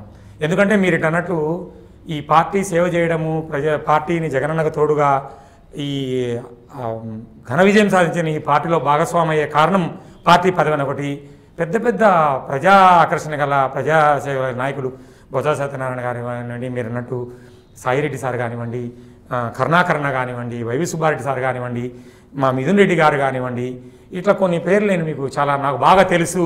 నన్ను అభిమానించి ఎంత పనిలో నన్ను పిలుస్తారని చెప్పుకునే అవకాశం కల్పించింది పార్టీ కదండి. నేను నేను ఎంతటోని కడపలో ఒక చిన్న కుటుంబం నుంచి వచ్చినాను కదా నేను. చాలామంది మీరు మీకు బాగా తెలుసు కడప గురించి అంతా అటువంటి అవకాశం ఇచ్చింది పార్టీ కాబట్టి నేను ఎప్పుడూ పార్టీకి విధేయండి ఫస్ట్. దాని తర్వాత ఈ పదవులు అదంతా. ఎన్నికల సమయంలో మొత్తం ఎన్ఆర్ఎల్ అంతా కూడా ఒక బస్సును పెట్టుకొని ప్రచారం నిర్వహించారు. ఒకటి కాదు మూడు బస్సులు. ఓకే. మూడు బస్సులు పెట్టి ఒక బస్సు యాత్ర ఉత్తరాంధ్రలో ఉన్నప్పటికి నేను. నేను ప్రత్యేకంగా బస్సులతో పాటు నేను ప్రత్యేకంగా ఒక ఐదు వెహికల్స్ పెట్టుకొని శ్రీకాకుళం నుంచి లాస్ట్ రోజు తిరుపతి కర్ణాకరణకు క్యాన్వాస్ చేసి టాప్ చేసుకుని అన్ని దాదాపు అరవై అసెంబ్లీ సెగ్మెంట్లు అర్ధ రోజు రెండు గంటలు మూడు గంటలు చేసుకుంటూ పోయినా నేను. ఉత్తరాంధ్రలో మాత్రం విజయనగరం విశాఖపట్నం నుంచి విజయనగరం శ్రీకాకుళం వరకు పార్టీ చెప్పిన సలహా మేరకు అప్పుడు మా ఎన్ఆర్ఐ కోఆర్డినేటర్ వెంకట మేడపట్టి గారిని వారి ఆధ్వర్యంలో మేము ఆ మూడు జిల్లాలు తిరిగా బస్సులో సొంతంగా. ఆ మూడు అయిపోతానే బస్సు శ్రీకాకుళంలో వదిలే విజయనగరంలో అక్కడ బెల్లన చంద్రశేఖర్ గారిని ఎంపీ ఉంటారు. వాళ్ళ బాబు అమెరికాలో నాతో పాటు పనిచేస్తాడు నా కంపెనీకే పనిచేస్తాడు. అతను అక్కడ అతను కూడా వచ్చాడు నాతో పాటు అమెరికా నుంచి. అతనికి అప్పచెప్పేసి నా యొక్క ఐదు వెహికల్ పెట్టుకుని అక్కడి నుంచి మొత్తం అంతా అప్ టు లాస్ట్ రోజు సీఎం గారి తిరుపతిలో సభను చేసి నేను మళ్ళా విజయవాడకు వచ్చి కూర్చున్నాను సో వీలైనంత వరకు తిరిగానంటే కొంతే కొంత ఎంత చేయగలుగుతాం మేము చెప్పండి పెద్దగా కాదు. మా చేతనైన కాడికి చేసుకుంటాం ఓ తృప్తి కోసం నా ఆత్మ తృప్తి కోసం. అక్కడ పార్టీకి కానివ్వండి లోకల్ స్థానికాలో ఆ క్యాండిడేట్ పెద్దగా చేసినా నేను చెప్పను కానీ అది నాకు తృప్తి ఉండేది వీలైనంత మంది దగ్గరికి పోవాలా అనేది. మా ప్రస్తుత భారీ నీటిపారుదల శాఖ మంత్రి అనిల్ గారు కూడా నాకు చాలా ముఖ్యం. అనిల్ యాదవ్ గారా? అనిల్ యాదవ్ గారు నాకు చాలా మనం అమెరికాకు వస్తే మా ఇంటికి వస్తాడు ఆయన ఎన్ని పనులు ఉన్నా కూడా నా దగ్గరకు వచ్చిపోదా అన్న నన్ను పిలుస్తాడు కానీ చాలా ముఖ్యం నాకు. అది గౌరవంగా అంటే ఈ పేరు మర్చిపోయినా కాబట్టి చెప్తున్నా అన్నట్టు చాలా ముఖ్యం నాకు. సరే ప్రస్తుతం రాష్ట్ర ప్రభుత్వం ఆర్థిక సుడిగుండంలో కొట్టిమిట్టాడుతుంది. అంటే అయినప్పటికీ కూడా ఆర్థిక కష్టాల్లో ఉన్నప్పటికీ కూడా రాష్ట్రాన్ని అభివృద్ధి చేయడానికి అంటే పదమూడు జిల్లాలను కూడా అభివృద్ధి చేయడానికి జగన్మోహన్ రెడ్డి గారు కంకణం కట్టుకున్నారు. అందులో అభివృద్ధి కావాలంటే అందరూ కూడా చేయూతను అందించాలి. ప్రవాసాంధ్రులు కూడా అంటే అమెరికాలో ఉన్న కొంతమంది ఆర్థికంగా స్థితిమంతులైన వారు కూడా కాస్త చేయూతనిస్తే బాగుంటుంది అనేది అందరూ కోరుకుంటున్నారు. ఈ నేపథ్యంలో అంటే ప్రతి ఒక్కరూ కూడా అక్కడ ఉంటున్న వారంతా కూడా ఈ రాష్ట్రంలో వారి వారి స్వగ్రామాలను కావచ్చు వాటిని దత్తత తీసుకోవడము దత్తత తీసుకోవడం ఆ గ్రామాలను డెవలప్ చేయడము ఇలాంటి కార్యక్రమాలు చేస్తే బాగుంటుంది. ఆ వైపుగా ఏమన్నా మీరు ఏమన్నా అక్కడ వాళ్ళతో మాట్లాడడం చేస్తున్నారా? ఆంధ్రప్రదేశ్ రాష్ట్ర అభివృద్ధికి అన్నిటికన్నా ముఖ్యం ప్రకృతే మాకు సహకరిస్తుంది. మీ తెలవని కాదు. ఎప్పుడో ఇప్పుడు నిన్న మొన్న మేము ఒక చిన్న పార్టీ దీనికోసం నేను రాజమండ్రి వరకు పోయినా నాగరాజు. ఎక్కడ చూసినా నీళ్ళే. పచ్చగా అప్పుడెప్పుడు రెండు వేల ఏడు ఎనిమిదిలో రాజశేఖర రెడ్డి గారు ఎప్పుడు చూసినట్టు. ప్రకృతే జగన్మోహన్ రెడ్డికి ఆశీర్వాదం ఉంది. సో ఆటోమేటిక్గా అన్నీ మన ఈ నుంచి మొదలుకొని కృష్ణా అనేది ఎలక్షన్ అప్పుడు చూసి అంతా ఇసుకే ఉండే. పోతా అంటే బ్రిడ్జి మీద మా మా తాడేపల్లి నుంచి. ఇప్పుడు చూసినారా నీళ్ళు ఇళ్ళలోకి వచ్చేసినాయి. ఎక్కడ చూసినా నీళ్ళే. నీళ్ళ వల్ల అన్నీ కదా. మాత్రం తాగడానికి నీళ్ళు లేవు. ఎందుకు లేవు? వస్తాయి నీళ్ళు ఇప్పుడు మీకు అన్ని రకాలుగా కూడా వర్షాలు చూడండి ఎంత బాగా. వర్ష అది పెద్ద చేయనము ఇప్పుడు అనంతపూర్లో కూడా మీ సొంతూరు మా సొంతూరులో మనకు పశువులు తినడానికి గడ్డే లేకుండా ఇప్పుడు చూడండి పచ్చగా మీరు వస్తా ఉన్నప్పుడు చూసిన పచ్చగా అయిపోయింది. వస్తాయి దానికి ఏం చేయాలన్నా కూడా జగన్మోహన్ రెడ్డి గారే నీళ్ళ వరకు జగన్మోహన్ రెడ్డి గారు చేయగలరు. దానికి బ్రహ్మాండమైన నీరు ఎంతో పట్టుదల గల యువకుడు ప్రజలకు ఏమైనా చేయాలన్నాడు మా భారీ నీటిపారుదల శాఖ మంత్రి అనిల్ యాదవ్ గారు మంత్రి అయ్యారు. దానికి ఖచ్చితంగా రాయలసీమకే కాదు ఇంకా వెనుకబడిన జిల్లాలు ఏమైనా ఉంటే ఒంగోలు లాంటి దానికి కూడా కావాల్సిన నీళ్ళన్నీ వస్తాయి. దాంతోపాటు మీరన్న దానికి ఏంటంటే కనుక ఆర్థికంగా సహజ వనరులు ముఖ్యంగా రైతులు బాగుండాలా? రైతులు బాగుండాలంటే వర్షాలు పడాలా? నీళ్ళు రావాలా? అవన్నీ జరిగిపోతున్నాయి. సో రైతు ఆనందంగా ఉండి దీవించి ఆ దీవెనలు ఉన్న ఈ ప్రభుత్వానికి ఇప్పుడు మనం అక్కడ ఉండే ఎన్ఆర్ఐలు కూడా మీరు అన్నట్టు ఒక ప్రణాళిక పరంగా ఏదో రా జగన్మోహన్ రెడ్డి గారు మీకు చెప్పాను చాలా స్పష్టతగా ఉంటారు ఆయన. ఇప్పుడు అప్పుడు ఏదో ప్ర- ఒక- కొందరు వచ్చి ఆ పల్లెలు ఆ సినిమాలు ఏ ఆ పల్లెలను చేసుకుంటానము మూడు రోజుల తర్వాత ఏమైతాయో తెలియకుండా కూడా చెప్తుంది. అటు వద్దంటాడు మా నాయకుడు. నాతో ప్రత్యేకించి చెప్పాడు. ఊరికి రావడము ఒక దత్తత తీసుకునడము ఆ రోజుకి ఆ రోజు ఏదో జరగడము రొంత పెట్టి పోవడము దాని తర్వాత పెట్టినాటి మెయింటైన్ చేయలేకుండా పోవడము ఇట్లాంటివన్నీ వద్దు రత్నాకర్. ఏదన్నా ఉన్న ప్రణాళిక దీర్ఘకాలంగా ప్రజలకు ఉపయోగపడేది తద్వారా అటువంటి విషయాల్లో ప్రభుత్వం ఏ మేరకు భాగస్వామ్యం చేయగలము? అనే దాని మీద ఒక స్పష్టమైన ప్రణాళికతోనే చేస్తామన్నట్టు ఖచ్చితంగా నాకున్న పరిచయాలను జగన్మోహన్ రెడ్డి గారి మీద ఉన్న నమ్మకాన్ని ఇక్కడ రాష్ట్ర ప్రభుత్వంలో మంత్రులుగా ఉన్న వాళ్ళ వాళ్ళ యొక్క సహ- సహాయ సహకారంతోనూ నేను ఆంధ్రప్రదేశ్కు ను- కు కొంతమందిని తీసుకొచ్చి ఆంధ్రప్రదేశ్ అభివృద్ధిలో భాగస్వామ్యం చేయగలన నమ్మకం అయితే నాకు ఉంది నాగరాజు గారు. ఎంతసేపు అక్కడ నుంచి ఇక్కడ తీసుకురావడం అంటే అమెరికాలో ఉన్న ప్రవాసాంధ్రులకు ఒక ఆంధ్రప్రదేశ్ తరపున ప్రత్యేక ప్రతినిధిగా ఉన్న మీరు వారికి ఏదైనా కష్టం వస్తే ఎలా ఉపయోగపడగలుగుతారు? ఇప్పుడు నేను ఒక ఆఫీస్ సెటప్ చేసుకుంటా ఒక ఇద్దరు మనుషులను పెట్టుకుంటా వాళ్ళని రీచ్ అయ్యి ఏం కావాలో మన పరిధి ఉంటుంది. ప్రతిదానికి ఇప్పుడు మీరు అన్నారు ఒక యాక్సిడెంట్ జరిగింది ఆ పిల్లలకి ఏదన్నా ఇమీడియట్గా ఇండియాలో వాళ్ళ వాళ్ళని పిలుచుకొచ్చి రావడమా పిలుచుకొచ్చిన వాళ్ళకు ఒక గైడెన్స్ ఇచ్చి ఒక ఏదైనా మన వాళ్ళని ఆ ప్రాంతంలో ఉన్న కారు పెట్టి వాళ్ళని తీసుకుపోవడం ఆ ప్రదేశాలకు? ఇటువంటి ఏదైనా చావు ఏదైనా జరిగితే గిన వాళ్ళకి ఏదైనా మనం ఈ సర్టిఫికెట్లు ఇచ్చే విషయంలో కానీ లేకపోతే వాళ్ళకి ఎవరు లేని వాళ్ళకి ఏదన్నా మన మనుషులను పెట్టి చేయడం అనేది చేద్దాం అనేది ఒక ఉద్దేశం నా ఉద్దేశం ప్రత్యేకించి. ప్లస్ మీరన్నట్టు ఇది ప్రవాసాంధ్రులకే కాదు నా ప్రత్యేక ప్రతినిధి. ఆంధ్రప్రదేశ్లో ఉండే సహజ వనరులు అయితేనేముంది మానవ వనరులు పెంచుకొని ఈవెన్ అమెరికాలో స్ట్రాంగ్గా ఉండే అమెరికా దేశీయుల సంస్థలు కూడా ఎవరైనా ఇక్కడికి వచ్చి చూస్తూ ఉంటారు కొందరు. ఇప్పుడు మనం ఆంధ్రప్రదేశ్ అనగానే అక్కడ వాళ్ళకి ఏం కనిపిస్తుంది? సాఫ్ట్వేర్. సాఫ్ట్వేర్లు ఇక్కడికి వచ్చి ఏమన్నా పెట్టుకుంటారా? ఉద్యోగ అవకాశాలు కల్పిస్తారా? ప్రోడక్ట్ బిల్డ్ చేయగలరా? అన్ని సంస్థలు ఇప్పుడు మీకు ఎలా ఉంది? ఏముంది? పెద్ద పెద్ద ఇన్సూరెన్స్ కంపెనీలు కూడా అమెరికా ఇండియాకి వచ్చి పెట్టుకుంటున్నాయి. మొన్నటి వరకు హైదరాబాద్లో పెట్టుకున్నాయి. ఇప్పుడు వైజాగ్ రాగలరా? లేకపోతే ఇంకోటి రాగలరా? అదొక ప్రణాళిక మా ఐటీ కారిడార్ ఎక్కడ పెట్టుకుందాము ఏం చేసాము అక్కడ వాళ్ళని కూడా అమెరికాలో కూడా నేను ఇరవై ఏళ్ళ వ్యాపార నా దృష్టిలో నాకు కొన్ని పరిచయాలు ఉన్నాయి. వాళ్ళని కూడా తీసుకురావడానికి ప్రయత్నం చేస్తాం అన్నట్టు. ఆ ప్రయత్నంలో కొంతవరకు ఆల్రెడీ జగన్మోహన్ రెడ్డి గారు ముఖ్యమంత్రి గారు నాకు అక్కడ పదవి ఇచ్చినప్పుడే నాకు స్వతహాగా ఉండే కొంతమందిని కలిశాను నేను అప్పుడే. నాకు ఈ పదవి జగన్మోహన్ మా ముఖ్యమంత్రి గారు ఇచ్చారు. దీంట్లో ఏం చేయగలుగుతాం మీరు మీరు ఏం రావాలన్నా కొంతమందితో మొదలుపెట్టాను. మళ్ళీ నేను వెళ్ళేసి అక్కడ వాళ్ళని ప్రత్యేకంగా కలిసి ఆ ప్రయత్నం అక్కడ దేశీ అమెరికన్స్ని కూడా ఇక్కడ ఏదైనా అన్ని రంగాల్లో కూడా ఒక ఐటీ రంగంలో కాకుండా మ్యానుఫ్యాక్చరింగ్ సెక్టర్లో కూడా ఏమైనా తేగలమా దానికి కావాల్సిన మన దగ్గర ఏమేమి ఉన్నాయనేది కొంత అవగాహన తెచ్చుకొని ఒక ప్రణాళికాబద్ధంగా ముఖ్యమంత్రి గారి ఆశీస్సులతో నేను వాళ్ళని చేరుతాను. కష్టాల్లో ఉన్న ఏపీని ఆదుకునేందుకు ముఖ్యమంత్రిగా ఆయన ఒక్క రూపాయి జీతం తీసుకుంటూ ఈరోజు సీఎంగా పనిచేస్తున్నారు ఆయన. అదేవిధంగా కార్యక్రమాల్లో కావచ్చు ప్రభుత్వ కార్యక్రమం ఎక్కడ కూడా అంటే హిమాలయ వాటర్ బాటిల్స్ కాకుండా సాధారణమైన వాటర్ బాటిల్సే మినరల్ వాటర్ బాటిల్స్ తెచ్చుకునేలాగా కూడా ఆయన జీవో ఇచ్చారు కదా. ఆయన ప్రమాణ స్వ- స్వీకారం కూడా అంటే చాలా జరిగింది. చాలా సింపుల్. స్వీకారం కూడా చాలా తక్కువ స్థాయిలో తక్కువ లక్షల్లో ఖర్చు పెట్టి అట్టహాసాలకు దూరంగా చేయడం జరిగింది. వీటి బేరీస్ చేసుకుంటే రాష్ట్ర ముఖ్యమంత్రి ఆయన ఒక్క రూపాయి జీతం తీసుకుంటే ఈరోజు ఉత్తర అమెరికాకు మీరు ఆంధ్రప్రదేశ్ ప్రత్యేక ప్రతినిధిగా అపాయింట్ అయ్యారు.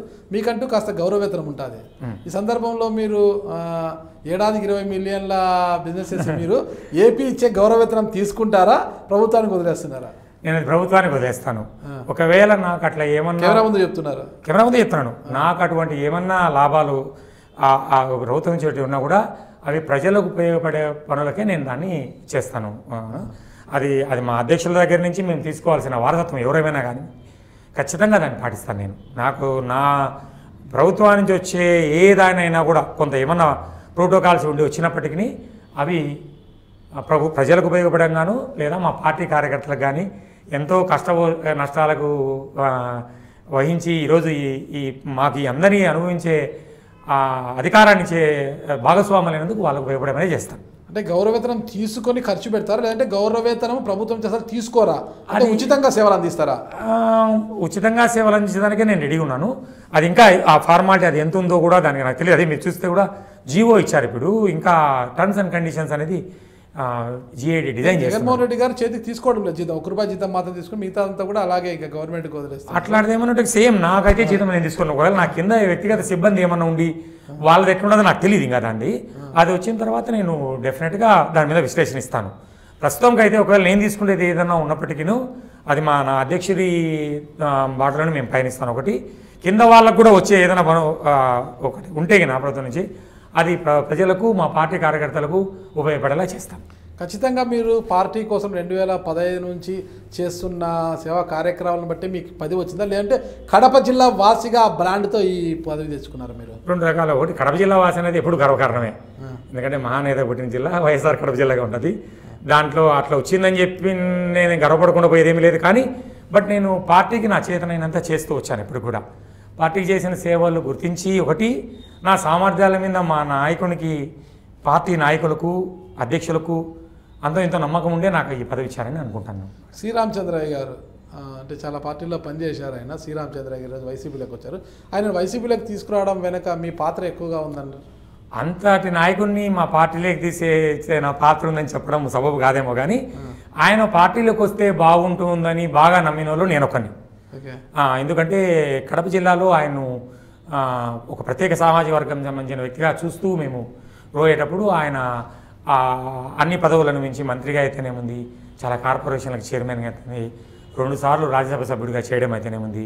కొంత రాయలసీమ అంతా కూడా ఒక బలమైన సామాజిక వర్గంలో ఆయన గుర్తింపు ఉంది. ఆయన వస్తే మా పార్టీకి మన వైఎస్ఆర్ కాంగ్రెస్ పార్టీకి బాగుంటుంది అనేది ఒకటి. అన్ని రకాల పదవుల విషయంలో ఆయన ఆయన అనుభవము పార్టీకి ప్రభుత్వానికి జగనన్న ఎటైనా గవర్నమెంట్ ముఖ్యమంత్రి అవుతాడు. అప్పుడు కొందరు పెద్ద సలహాలు మాకు అవసరము. దాంట్లో ఆయన పాత్ర బాగుంటుంది మీద రెండు ఒకటి మూడు చంద్రబాబు నాయుడు తెలుగుదేశం పార్టీ యొక్క కుయుక్తులు దగ్గర నుంచి చూసినాడు. ఆయన ఆ పార్టీలో ఉన్నప్పుడు కూడా చంద్రబాబు నాయుడు చాలాసార్లు వ్యతిరేకించిన పరిస్థితులు ఆయన ఆయన మాతో ఎప్పుడు చెప్తా ఉంటాడు. ఏది చంద్రబాబు చేసినప్పుడు ఇది మంచిది కాదు ఇది మంచిదని చెప్పి. బట్ ఆయన అది వాళ్ళకి సంబంధించిన విషయంగానే ఉండేవాడు కాబట్టి మాకు పనికొస్తాడు అని నమ్మిన వాళ్ళను నేను ఒకరిని పార్టీలో ఎంతో మంది ఉన్నారు. ఏంటంటే అమెరికాలో ఉంటూ పార్టీ కోసం పనిచేసేవారు ఎంతో మంది ఉన్నారు. అంతమంది ఉన్నా ఈరోజు రత్నాకర్ పండుగలకే ఇంతటి బాధ్యతలు అప్పగించారంటే ఆంధ్రప్రదేశ్ తరపున ప్రత్యేక ప్రతినిధిగా ఉత్తర అమెరికాకు మిమ్మల్ని నియమించారు. అంటే అంతటి బాధ్యతలు మీపై జగన్మోహన్ రెడ్డి గారు రుణం ఎలా తీర్చుకోబోతున్నారు అసలుకి? చెప్పినాను కదా నేను ప్రూవ్ చేసుకొని. ఫస్ట్ నా టాప్ ప్రయారిటీ పార్టీకి బలోపేతం చేస్తూ పార్టీ ఆయన నేను ఇప్పుడు చెప్పినట్టు భారతదేశంలోనే అత్యంత శక్తివంతమైన నాయకుడు జగన్మోహన్ రెడ్డి గారు. ప్రస్తుతం మన రాజకీయాల్లో. ఆ, అదే పేరును ఆయన కంటిన్యూ రాజకీయ భవిష్యత్ రాజకీయాల్లో ఉన్నంతకాలము ఆయనకు అలాగే ఉండాలని ఇంత అద్భుతమైన విజయాలు సాధిస్తుండాలని ఆయన కోసం పనిచేస్తాను గ్యారంటీగా. ఒకటి ప్లస్ నాకు అప్పచెప్పిన బాధ్యతలో ఆంధ్రప్రదేశ్ ప్రభుత్వానికి ప్రజలకు కావాల్సిన సేవలు చేయడంలో కూడా నేను శక్తి మించి మేరకు పనిచేస్తాను. ఆ నమ్మకం నాకు ఆయన ఉంది కాబట్టి నాకు కొన్ని అప్పజెప్పిన పనులు పార్టీకి నేను చేసినాను కాబట్టి మా పార్టీ ఆయనకు ఒక అవగాహన నా అధ్యక్షుల వారికి నా మీద ఒక అవగాహన ఉంది. మా పార్టీ నాయకులు విజయసాయిరెడ్డి గారి దగ్గర నుంచి అందరికి కూడా ఒక రకమైన ఉంది కాబట్టి నాకు వాళ్ళందరి ఆశీస్సులతోనే నాకు పదవి వచ్చింది. సో నేను అంతో ఎంతో పనిచేశాను ప్రూవ్ చేయగలుగుతాను నమ్మకం ఉండబట్టే అంటే మిగతా వాళ్ళకి కాదని కాదు. వాళ్ళకు వాళ్ళ శక్తి మేరకు పనిచేసిన వాళ్ళు నాతో పాటు సహచరులకు అందరూ కూడా జగన్మోహన్ రెడ్డి గారు కొన్ని బాధ్యతలు అప్పగించే ఒక ప్రణాళికను తయారు చేస్తున్నారు ఆయన. లేరని కాదు. నారాయణ గారు వాళ్ళకు కూడా ప్రాసెస్లు ఉన్నాయి. ఇంకా కొన్ని పద ప- పదవులకు అమెరికాలో నాతో పాటు పనిచేసిన వాళ్ళకందరికీ కూడా కొన్ని ఈ ప్రభుత్వంలో పాల్గొని ప్రభుత్వ సహకారాలు అందిస్తూ ఇక్కడికి ఈ ప్రజలకు మేలు చేయాలన్న దాంట్లో ఇంకా కొన్ని ప్రణాళికలు ప్రణాళిక జరుగుతుంది అన్నట్టు అవును. విపత్తుల సమయంలో అంటే ఏపీలో ఎప్పుడైనా విపత్తులు జరిగినప్పుడు వాటి పరిరక్షణ కోసం వాళ్ళకి ఆసరాగా ప్ర- వాళ్ళకి బా బాధితులకు ఆసరాగా ఉండడానికి ఎన్ఆర్ఐల నుంచి ఎలాంటి సహకారం అందించబోతున్నారు? మేము మామూలుగా ఇప్పుడు ఇది ఇది ఉందని కాదు. ప్రభుత్వం రాకముందు కూడా పార్టీ యొక్క అభ్యర్థన మేరకు వాళ్ళు ఇచ్చే ఇప్పుడు సాయిరెడ్డి గారు ఇక్కడ ఏదైనా లేకపోతే మాకు ఫోన్ చేసి చెప్పేవాడు. మీరందరూ అక్కడ ఏదైనా ఉంటే చేయండి అని కానీ చేయమని చెప్పేవాడు. ఆయన ఆదేశాల మేరకు మేము చేసేవాళ్ళం. అప్పుడు కూడా ఎక్కడైనా ఎవరు స్వతహాగా కొందరు పర్సనల్గా చేస్తూ ఉంటారు. వాళ్ళ ఊర్లో ఇల్లు కాలిపోయినప్పుడు ఇది చేయడం అనేది ఒకటి ఉంటుంది. అట్లా కాకుండా రాష్ట్రంలో జరిగినప్పుడు విపత్తు జరిగినప్పుడు ఎక్కడైనా ఏమైనా జరుగుతున్నప్పుడు కూడా మాకు సాయిరెడ్డి గారి నుంచి ఒక రకమైన ఆదేశాలు వచ్చేటి దాని తగ్గట్టు చేసేవాళ్ళం ఇప్పుడు. ప్రత్యేకించి మేము కూడా ఎవరైనా ఈ పలానా దాంట్లో ఇది జరిగిందబ్బా వాళ్ళకి అసలు ఇది బాగాలేదనేది చేసినప్పుడు ఒకటి ప్రత్యేకించి చెప్పాలంటే మీకు వాటర్ ప్లాంట్ మాకు అక్కడ వైఎస్ డాక్టర్ వైఎస్ఆర్ ఫౌండేషన్ అని ఒక ఫౌండేషన్ ఉంది. ఆ ఫౌండేషన్ వాళ్ళు ఏం చేస్తారంటే మేము ఫిఫ్టీ పర్సెంట్ ఇస్తే ఫిఫ్టీ పర్సెంట్ వాళ్ళు మ్యాచ్ చేస్తారు నీళ్ళ ట్యాంకులు పెట్టాలంటే. నీళ్ళకు మత్- ప్రత్యేకించి నీళ్ళకు మాత్రమే ఈ ప్లాంట్స్కు వాటికి మేము మేము ప్రభుత్వంలో లేనప్పుడు పార్టీ కార్యక్రమం ఉందా? దాదాపు చాలా వరకు పెట్టామండి. ఎన్ని నెంబర్ అని చెప్పలేదు నేను కూడా దాంట్లో డొనేషన్ ఇచ్చాను. మా పార్టీ కార్యకర్తలు అందరం ఎందుకంటే వైఎస్ఆర్ ఫౌండేషన్ పేరు కదా నాన్ ప్రాఫిట్ ఆర్గనైజేషన్ అది. దాని ద్వారా ఇచ్చేవాళ్ళం నాకు ఇప్పుడు కూడా గతంలో నారా లోకేష్ గారు ఐటీ మంత్రిగా ఉన్నప్పుడు రాష్ట్రానికి పెద్ద పెద్ద ఐటీ కంపెనీలు అంతా కూడా ఆహ్వానించారు. కొన్ని హెచ్సిఎల్ లాంటి కంపెనీలు కూడా ఇక్కడ వచ్చాయి. అయితే ఇప్పుడు జగన్మోహన్ రెడ్డి గారి ప్రభుత్వంలో చాలా కంపెనీలు వెనక్కిపోతున్నాయి ఐటీ కంపెనీలు అంతా వెనక్కిపోతుంది ఎందుకంటే ఇక్కడ ప్రభుత్వం విధిస్తున్న కఠినతరమైన నిబంధనల కారణంగా వెనక్కిపోతున్నాయి లోకేష్ గారి హయాంలో ఉన్న ఐటీ హబ్బులు ఇవన్నీ కూడా ఇప్పుడు కనిపించడం లేదని నారా లోకేష్ బాబు గారు అంటున్నారు. ఐటీ హబ్బా టబ్బా? టబ్బని అని అని మొత్తం అబద్ధమే. మీరు చెప్పిన దాంట్లో మొట్టమొదటి నుంచి అసలు అతను ఐటీ టబ్బు తెచ్చినాడు హబ్బు తెచ్చినాడు అనేది అబద్ధమే. ఆ హెచ్ఈఎల్ ఏంటంటే స్వతహాగా మనం ఇంతకుముందు మాట్లాడినట్టు మాట్లాడినట్టు ఆంధ్రప్రదేశ్లో మానవ వనరులు అంటే విద్యార్థులు సంఖ్య కానివ్వండి రోంత అగ్రెసివ్గా కానివ్వడం అనేది ఎప్పటి నుంచో నేను చెప్పినా కదా పంతొమ్మిది వందల దశకం నుంచి ఆ పేరు ఉంది మనకు. ఎందుకంటే కళాశాలలు ఎక్కువ ఉన్నాయి విద్యార్థులు ఎక్కువ ఉన్నారు విద్యార్థి సంపద ఎక్కువ ఉందనే దాంతో ఆ ప్రపంచంలో ఉండే అన్ని ఐటీ కంపెనీలు ఆంధ్రప్రదేశ్లో అందుకే మన హైదరాబాదు వచ్చింది అన్నట్టు. అట్లా ఎవరన్నా వచ్చిండాలి కానీ లోకేష్ బాబుని చూసి ఏంది నాకు రాజన్న చెప్పేది? అసలు విషయమే లేదు. ఏమీ రాలేదు. ఎందుకు రాలేరు ఆయన కూడా విదేశాల్లో చదువుకున్నారు కదా ఆయన కూడా ఏ చదువుకుంటే వచ్చి పెడతారా? విదేశాల్లో చదువుకున్నారు? ఐటీ మీద ఆయన చదువు ఆయన చదువుకున్న విద్యా విధానము సత్యం రావలింగ ఇవన్నీ చెప్పుకుంటా పోతే చాలా అవుతుంది. మనం పక్కన పెట్టేసాం ఆయన చదివింది చదివినంత మాత్రాన ఆయన చూసి ఎవరు పెట్టరు. ఏదన్నా ఇక్కడ ప్రభుత్వం నుంచి చదివితే ముందు వాళ్ళు చూసుకునేది వనరులు. ప్రభుత్వం నుంచి ప్రభుత్వం నుంచి వచ్చేదానికి అన్ని దానికి కమిషన్లు తీసుకుంటారు ఆ కమిషన్లు బయటకు వస్తుంది. రోజుకు ఒకటి బయట పడతానే ఉన్నది వాళ్ళు చేసిన అవినీతి. అసలు జరిగిన అవినీతిలో అంతా ముఖ్య పాత్ర లోకేష్ బాబుని అని అదేదో ఆ డేటా దొంగలింపు ఇవన్నీ మీకు తెలిసిందే కదా. ఇన్ని ఆడ చెప్తున్నాను మళ్ళా. అంత అబద్ధాలు మోసము టబ్బు లేదు హబ్బు లేదు. లోకేష్ బాబు చేసిందంతా అభూత కల్పన. వాళ్ళ ఆయన ఆ సినిమా వాళ్ళని నమ్ముకున్నట్టే ఒక జూనియర్ సినిమా వాళ్ళ ఆయన పెద్ద సినిమా వాళ్ళు నమ్ముకున్నారు. వాళ్ళు ఎవరో ఆ పేర్లు దేనికి కానీ వాళ్ళందరినీ నమ్ముకొని ఆయన గ్రాఫిక్స్ క్రియేట్ చేస్తాడు. ఈయన ఇంకా కొంత చిన్న స్థాయి డ్రామా వాళ్ళను ఆ సినిమా వాళ్ళందరి పని హైదరాబాద్లో పెట్టుకొని వాళ్ళందరూ చెప్పిందంతా తనకుండే ఈ మీడియా గొట్టాలను వాడుకోవడము వీళ్ళు చెప్తే రాయడము. అంత తప్పనిస్తే ఆడ జరిగింది ఏమీ లేదు. జగన్మోహన్ రెడ్డి గారికి వచ్చేటప్పటికి ఎనికిపోతాడు. ఏంది నూరు రోజులు కాలేమరాజు గారు వచ్చి యాడేనికి పోయినాయి ఎవరు ఇప్పటి వరకు అసలు మా దగ్గరికి వచ్చి మేము ప్రోత్సహించింది? ఆయన వచ్చిన నూరు రోజుల్లో మూడు వందల రోజులు పనిచేసి పెట్టాడు. చెప్పు నువ్వే. ఈ వచ్చిన రోజు నుంచి రాత్రి బౌలు దాని మీదనే పనిచేస్తున్నాడు ప్రజలతో మమైకమవుతున్నాడు ఇప్పటికి కూడా ఆ, ఆర్నిశలు అధికారులతో అసలు లాభ నష్టాలను బేరీజు వేసుకుంటున్నాడు శాశ్వత ప్రణాళికలను రచిస్తున్నాడు అసలు ఒక ప్రణాళిక దీర్ఘకాలిక ప్రణాళికలో దీంట్లో వచ్చే లాభాలేంది నష్టాలేంది అని పనిచేస్తున్నాడు గవర్నమెంట్ ఇంకా స్టేబుల్ అసలు వచ్చి నూరు రోజులకే ఈ లోపల రావడం అన్- అనేది ఎక్కువనే కానీ పోవడం అనేది అది ఎంత ఉత్తమాటలు దాని గురించి ఇంకా అసలు మొద్దు టైం వేస్ట్ పని. ఆ దాని గురించి మాట్లాడాలంటే ఇంకా లోకేష్ బాబు గారు అభివృద్ధి చేయలేదంటారు అప్పుడు ఐటీ హబ్బులన్నీ కూడా?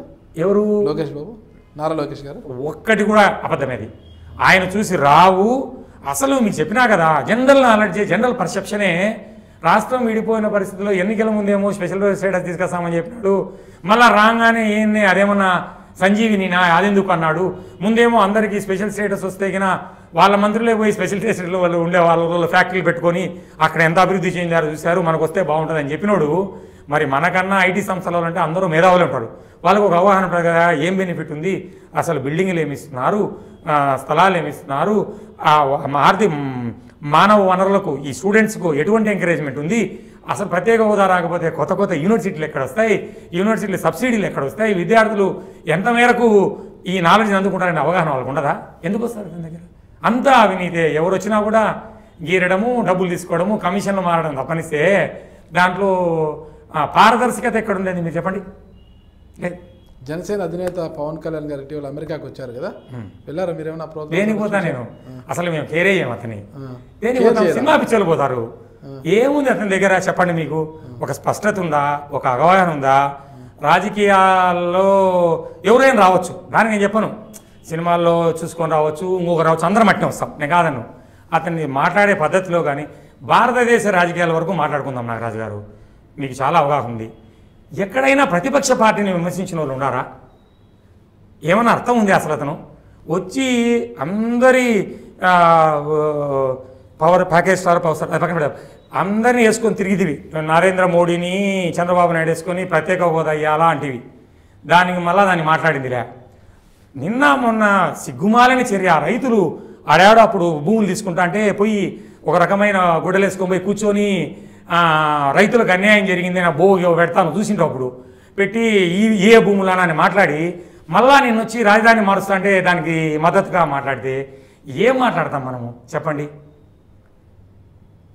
అది జనసేన అంటే కాపుల పార్టీ అంటారు. నాకు తెలిసి మీరు కూడా కాపు వాళ్ళు అనుకోవాల్సిందే. కాపుల పార్టీ అయితే మేము సూటిగా ప్రశ్నిస్తున్నా. ఆంధ్రప్రదేశ్ రాజ రాష్ట్ర అసెంబ్లీ నూట డెబ్బై ఐదు కాన్స్టెన్సీలో కాపులు ఎక్కువగా ఉండేది సినిమా పిచ్చోళ్ళు ఎక్కువగా ఉండే కాన్స్టెన్సీ గాజువాక. మీరు ఒప్పుకోవాల్సిందే విషయం. అవునా? మరి గాజువాకలు ఎటు ఓడిపోతారయ్యా కాపుల మద్దతు ఉంటే? కాపుల మద్దతు ఉండే రెండు జిల్లాల్లోనూ మా పార్టీ కంప్లీట్గా గెలిచాం. మిగిలిన ఒకరిద్దరు కాపుల నాయకులు ఎవరైనా ఉంటే తోట తిరిముట్టలు అందరూ జగన్మోహన్ రెడ్డి వైపు నడవడానికి నమ్మకంగా ఉన్నారు. యా నుంచి కాపులు ఆయన వైపు ఉన్నారనే అవగాహన ఉందో నాకు చెప్పాలి. మీటింగులు పెట్టి సినిమా పిక్చర్లు పెట్టి సినిమా వాళ్ళు ఎవరు ఎవరికైనా వస్తారు. దాంతో మీకు తెలియదు కాదు కదా ఇది. కాపులు జగన్మోహన్ రెడ్డి గారినే నమ్ముతారు. ప్రత్యేకమైన కాపులు బలంగా ఉండే అన్ని స్థానాల్లోనూ మేము గెలిచాము. కాపులకు రాజకీయ పరంగా న్యాయం చేయగలిగే ఏకైక నాయకుడు జగన్మోహన్ రెడ్డి గారే అనేది ఒక గట్టి నమ్మకం ఉంది. అందుకే పోటీ చేసిన రెండు దగ్గరలో కూడా బలనీయ బలనీయమైన కాపులు రెండు దగ్గరలో కూడా ఆయన ఓటమి చవి చూసినారు అది పవన్ కళ్యాణ్ గారు పవన్ కళ్యాణ్ అనే కాదు నేను చెప్పేది. ఇంకొక కాపు వచ్చి వేరే పార్టీ నిలబడినా కూడా గెలవరు. ఎందుకంటే జగన్మోహన్ రెడ్డి అది తరతరాలుగా మా రాజశేఖర్ సార్ ఉన్నప్పుడు కాపులు బ్రహ్మాండమైన ప్రార్థన అండి ఇది ఇదే మన మా బొత్స సత్యనారాయణ కానివ్వండి జక్కంపూడి రామ్మోహన్ కానివ్వండి ఇంకొక పార్టీ అధ్యక్షుడుగా ఉన్న గుంటూరు లేదా మూగ నాయకుడు కానివ్వండి ఎంత ప్రాముఖ్యతకి ఇచ్చినాడు రాజశేఖర రెడ్డి గారు? మీరు మనం అనుకుంటారంటే మా కడప జిల్లా నుంచి సాయి ప్రతాప్ గారు ఆరు సార్లు ఎంపీ చేసినాడు. ఆయన రాజంపేటలో ఎవరు తెలుసు ఆయన? రాజశేఖర రెడ్డి మనిషి గారినే తెలుసు ఆయన. కాపులు అంత ప్రాధాన్యత ఇచ్చిన ఆయన కొడుకు ఈయనైతేనే చేయగలుగుతాడని నమ్మకం ఉండబట్టే కదా సార్. కాపులు పవన్ కళ్యాణ్ వైపు ఉండాలనేది చెప్పడము. ఎందుకు సార్ మీరు ఆ మాట అంటారు? ఆయన అన్నాడు కదా నన్ను ఒక బల ఓ- అనలేదా మీటింగ్లో నేను ఒక బా- ఒక సామాజిక వర్గానికి చెందిన మనిషిగా నన్ను కాదు. నేను అందరి కోసం పోరాను ఎందుకు నమ్ముతారు కాపులు అట్టేటప్పుడు? అదే కాపుల పార్టీ అని చెప్పుకోవడం నాకే వద్దని ఆయన చెప్తానే ఉన్నాడు కదా అన్ని దగ్గరలా. మరి అది ఆయన చెప్పేది పక్కన పెడితే కాపులు ఆయన వెనక ఉన్నాడని చెప్పడం మాత్రం శుద్ధ అబద్ధము. ఎప్పటికీ ఉండరు. ఏ ఆయనే కాదు. ప్రత్యేకంగా ఈ పొద్దు ఇప్పుడు ఒకరు వస్తూ ఉంటారు. కొద్ది రోజులు రాజకీయాలు ప్రజలను వాడుకుందామని చేసి రిటైర్ అయిపోతుంటాడు ఈయన రేపు రిటైర్ అయిపోయి ఇంకొక నటుడు రానివ్వండి. ఇదే బాటలో క్రేజ్ ఉండేవాడు. అంత డ్యాన్సులు బాగా వేసేవాడు ఇంకొకడు. అప్పుడు కూడా కాపులు నడపరు వెనకమ్మడి కాపులు ఒక్క జగన్మోహన్ రెడ్డి వారి వైపే చూస్తారు. కాపులు ఒక జగన్మోహన్ రెడ్డి గారినే నమ్ముతారు. ఎందుకంటే ఏమైనా చెయ్యాలా అనే చిత్తశుద్ధి ఉంది. ఎవరికైనా. ఒక కాపులకే కాదు. ఎవరికైనా వెనుకబడిన తరగతి ఒక సామాజిక వర్గాన్ని కానీ ఒక ఎన్ రాష్ట్రంలో ఉండే ఏ వర్గానికైనా న్యాయం చేయగల కుల మత వర్గ రాజకీయ భేదాలు లేకుండా చేయగలిగేవాడు ఒక జగన్మోహన్ రెడ్డి మాత్రమే అని ప్రజలు నమ్ముతున్నారు. కాబట్టి వాళ్ళందరూ కూడా జగన్మోహన్ రెడ్డి గారి వైపు ఉంటారు. ఇప్పుడు తెలుగుదేశము ఇంక తెలుగుదేశం ఉండదు. మీకు తెలుసా విషయం నెక్స్ట్ ఇళ్ళకు. ఎందుకు ఉండదు? ఇంకేడు ఉంటుంది. ఉండే వాళ్ళందరూ అంగడి మూసి ఉండే వాళ్ళందరూ మా వైపు చూస్తున్నారు. లేకపోతే బీజేపీ లేక ఆయన చేర్చుకోరు? రాజీనామా చేసి రమ్మంటున్నారు కదా. అందుకే మాకు ఒక స్పష్టమైన ప్రణాళిక మా సారు ఇచ్చిన దానికి నిలబడతాను మా నాయకుడు. అందుకే రిజైన్ చేసేదన్నమాట ఒకవేళ అందుకే బీజేపీ అయిపోతాను. మేము రిజైన్ చేసినామని బీజేపీ ఒక ఎమ్మెల్యే కూడా ఇంతవరకు బీజేపీలోకి పోలేదు. అంత ఓడిపోయిన వారు వెళ్తున్నారు తప్పితే అదే రిజైన్ ఎవరు చేసి పోయి ఆ పార్టీ నుంచి గెలవాలంటే ఒక ఒక ఒక భారత భారత రాజకీయాల్లోనే రాష్ట్ర రాజకీయాలు భారత రాజకీయాల్లోనే ఒక ఒక ఇది మా నాయకుడు చేసి పెట్టాడు. పార్టీలోకి వస్తే సభలో శాసనసభలో నిండు శాసనసభలో స్పీకర్కి రైట్ ఇచ్చేశాడు. ఎవరైనా గారు అంటే ముందు వాళ్ళు రిజైన్ చేసి వాళ్ళ శాసనసభ్యత్వాన్ని మీరు రద్దు చేయండి అని. ఏడన్నా ఉంది అది చెప్పండి? అంత ధైర్యంగా? ఎంతో మంది ఎమ్మెల్యే మీది ఉంది కాదు? అందరూ సగం పైగా ఎమ్మెల్యేలు తెలుగుదేశం వాళ్ళు కలిసిపోయినారు మా నాయకుడిని. మా నాయకులను పార్టీ నాయకులను చేరుతాం చేరుతామని. మేము అటు చేయం ఇప్పుడే మా సార్ ఎన్నో కష్టాల్లో ఉన్నప్పుడే ఇరవై మూడు మంది పోతే ఎక్కడైనా ఏ రకంగా అయినా కూడా వాళ్ళు పెట్టిన షరతులు కానీ మేము లొంగినామా? మొక్కవో ఎన్ని ఇబ్బందులు పెట్టినారు చెప్పండి? భారతదేశంలో అధికారంలో ఉండే పార్టీ రాష్ట్ర రాష్ట్రంలో ఉండే అధికారం పార్టీ రాష్ట్రంలో ప్రతికా ప్రతిపక్షంలో ఉండే పార్టీ భారతదేశంలో ప్రతిపక్షం ఉండే పార్టీ. అందరూ కలుసుకొని ఎంత ఇబ్బంది పెట్టారు మా నాయకుడిని? ఆ రోజన్నా కూడా ఒక్క రవ్వన్న కనీసం బీఎస్పీ ముస్లిం లీగో లేకపోతే ఏదైనా ప్రజాశక్తి చిన్న చిన్న పార్టీలతో కూడా పొత్తు పెట్టుకోవాలనే తపన పన్నాడు కాదు మా నాయకుడు. పోరాడదాం అన్న ఒక నమ్మకము. ఆ నమ్మకమే ఆ నాయకత్వాన్ని నిలబెట్టింది. మాలాంటి వాళ్ళు కొన్ని కోట్లలో ఆ- ఆ నమ్మకము దృఢ సంకల్పం చూసి ఆయనకు అభిమానులుగా మారి ఆయన అభిమానులు చెప్పుకోవడానికి గర్వపడతానన్నారు అసలు. ఓకే ఎన్ఆర్ఐ అంటే మిగతా వారి ప- విషయాలు పక్కన పెడితే ఈరోజు ఆంధ్రప్రదేశ్ ప్రత్యేక ప్రతినిధిగా ఉన్న మీరు ఏదైనా గ్రామాన్ని అంటే మీ స్వగ్రామాన్ని కావచ్చు మీ చుట్టుపక్కల ఉన్న గ్రామాలను ఏమైనా దత్తత తీసుకున్నారు డెవలప్మెంట్ కోసం? అదే దానికి ఒక ప్రణాళిక ఉండదు టెంపరీగా ఏదో సింపుల్ ఇప్పుడు ముందుగా ఏం చెప్పారంటే మా ముఖ్యమంత్రి గారు అమెరికాకు వచ్చినప్పుడు ఎన్ఆర్ఎల్కి ఏం చెప్పారంటే విద్యా సంస్థలు మౌలిక సదుపాయాలు ఆసుపత్రులు ప్రభుత్వ ఆసుపత్రులకు చాలా దారుణమైన పరిస్థితులు ఉన్నాయి. వీటికి మీరు ఏం చేయగలరు?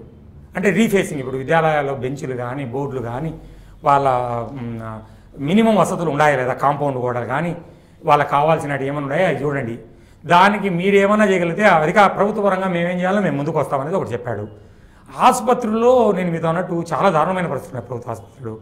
ఆరోగ్యశ్రీని వాడుకొని మీరు ఏమైనా కొన్ని విభాగాలకు ఒక ప్రత్యేకించి ఒక ఆర్థోపెడిక్స్ భాగము లేకపోతే ఇంకోటో ఇంకోటో దాని మీ పరిధి మేరకు మీ శక్తి మేరకు ఏదైనా మీరు ఇస్తే మేమన్నా చేయగలమని పెట్టినాడు.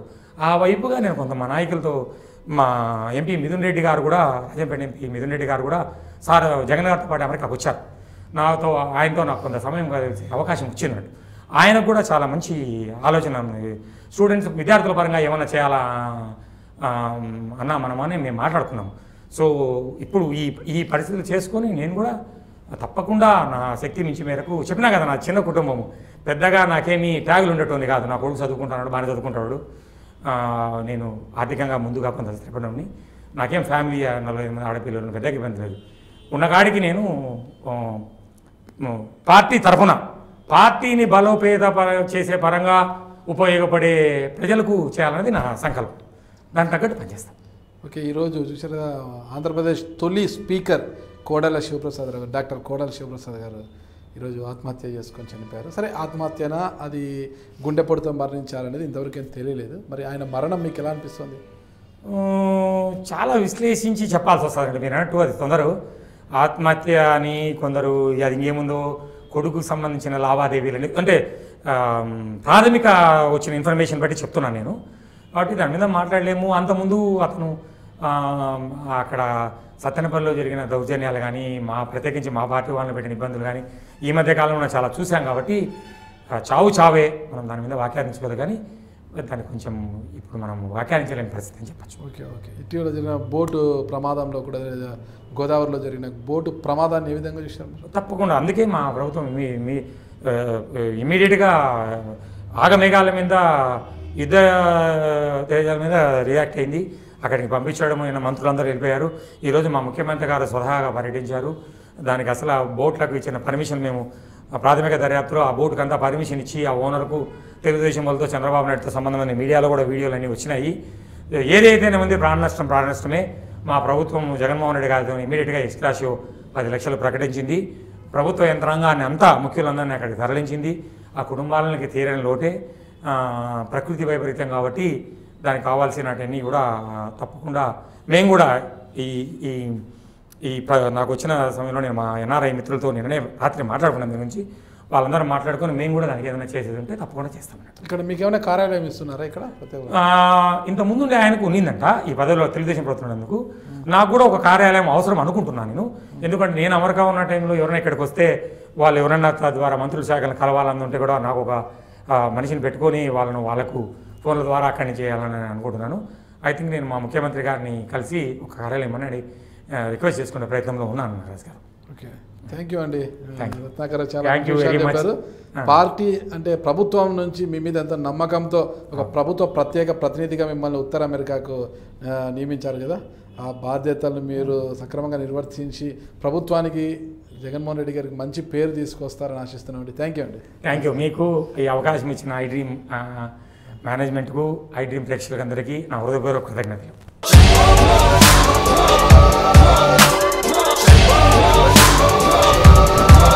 ఆ ఫోటోలో ఉన్న వ్యక్తి ఎవరమ్మా? మీ ఆయన? చనిపోయారా? అయ్యో ఎక్కడ పడితే అక్కడ. ఏది పడితే అది వాగుతున్నాడని పోలీసులు నగర బహిష్కరణ చేశారండి. మొదటి భార్యని చేసుకున్నాక పిల్లలు పుట్టలేదని రెండో పెళ్ళి చేసుకున్నారు. ఆవిడకి పుట్టలేదు. మూడోసారైనా తగులుతుందనుకున్నాం తనకే పుట్టలేదు.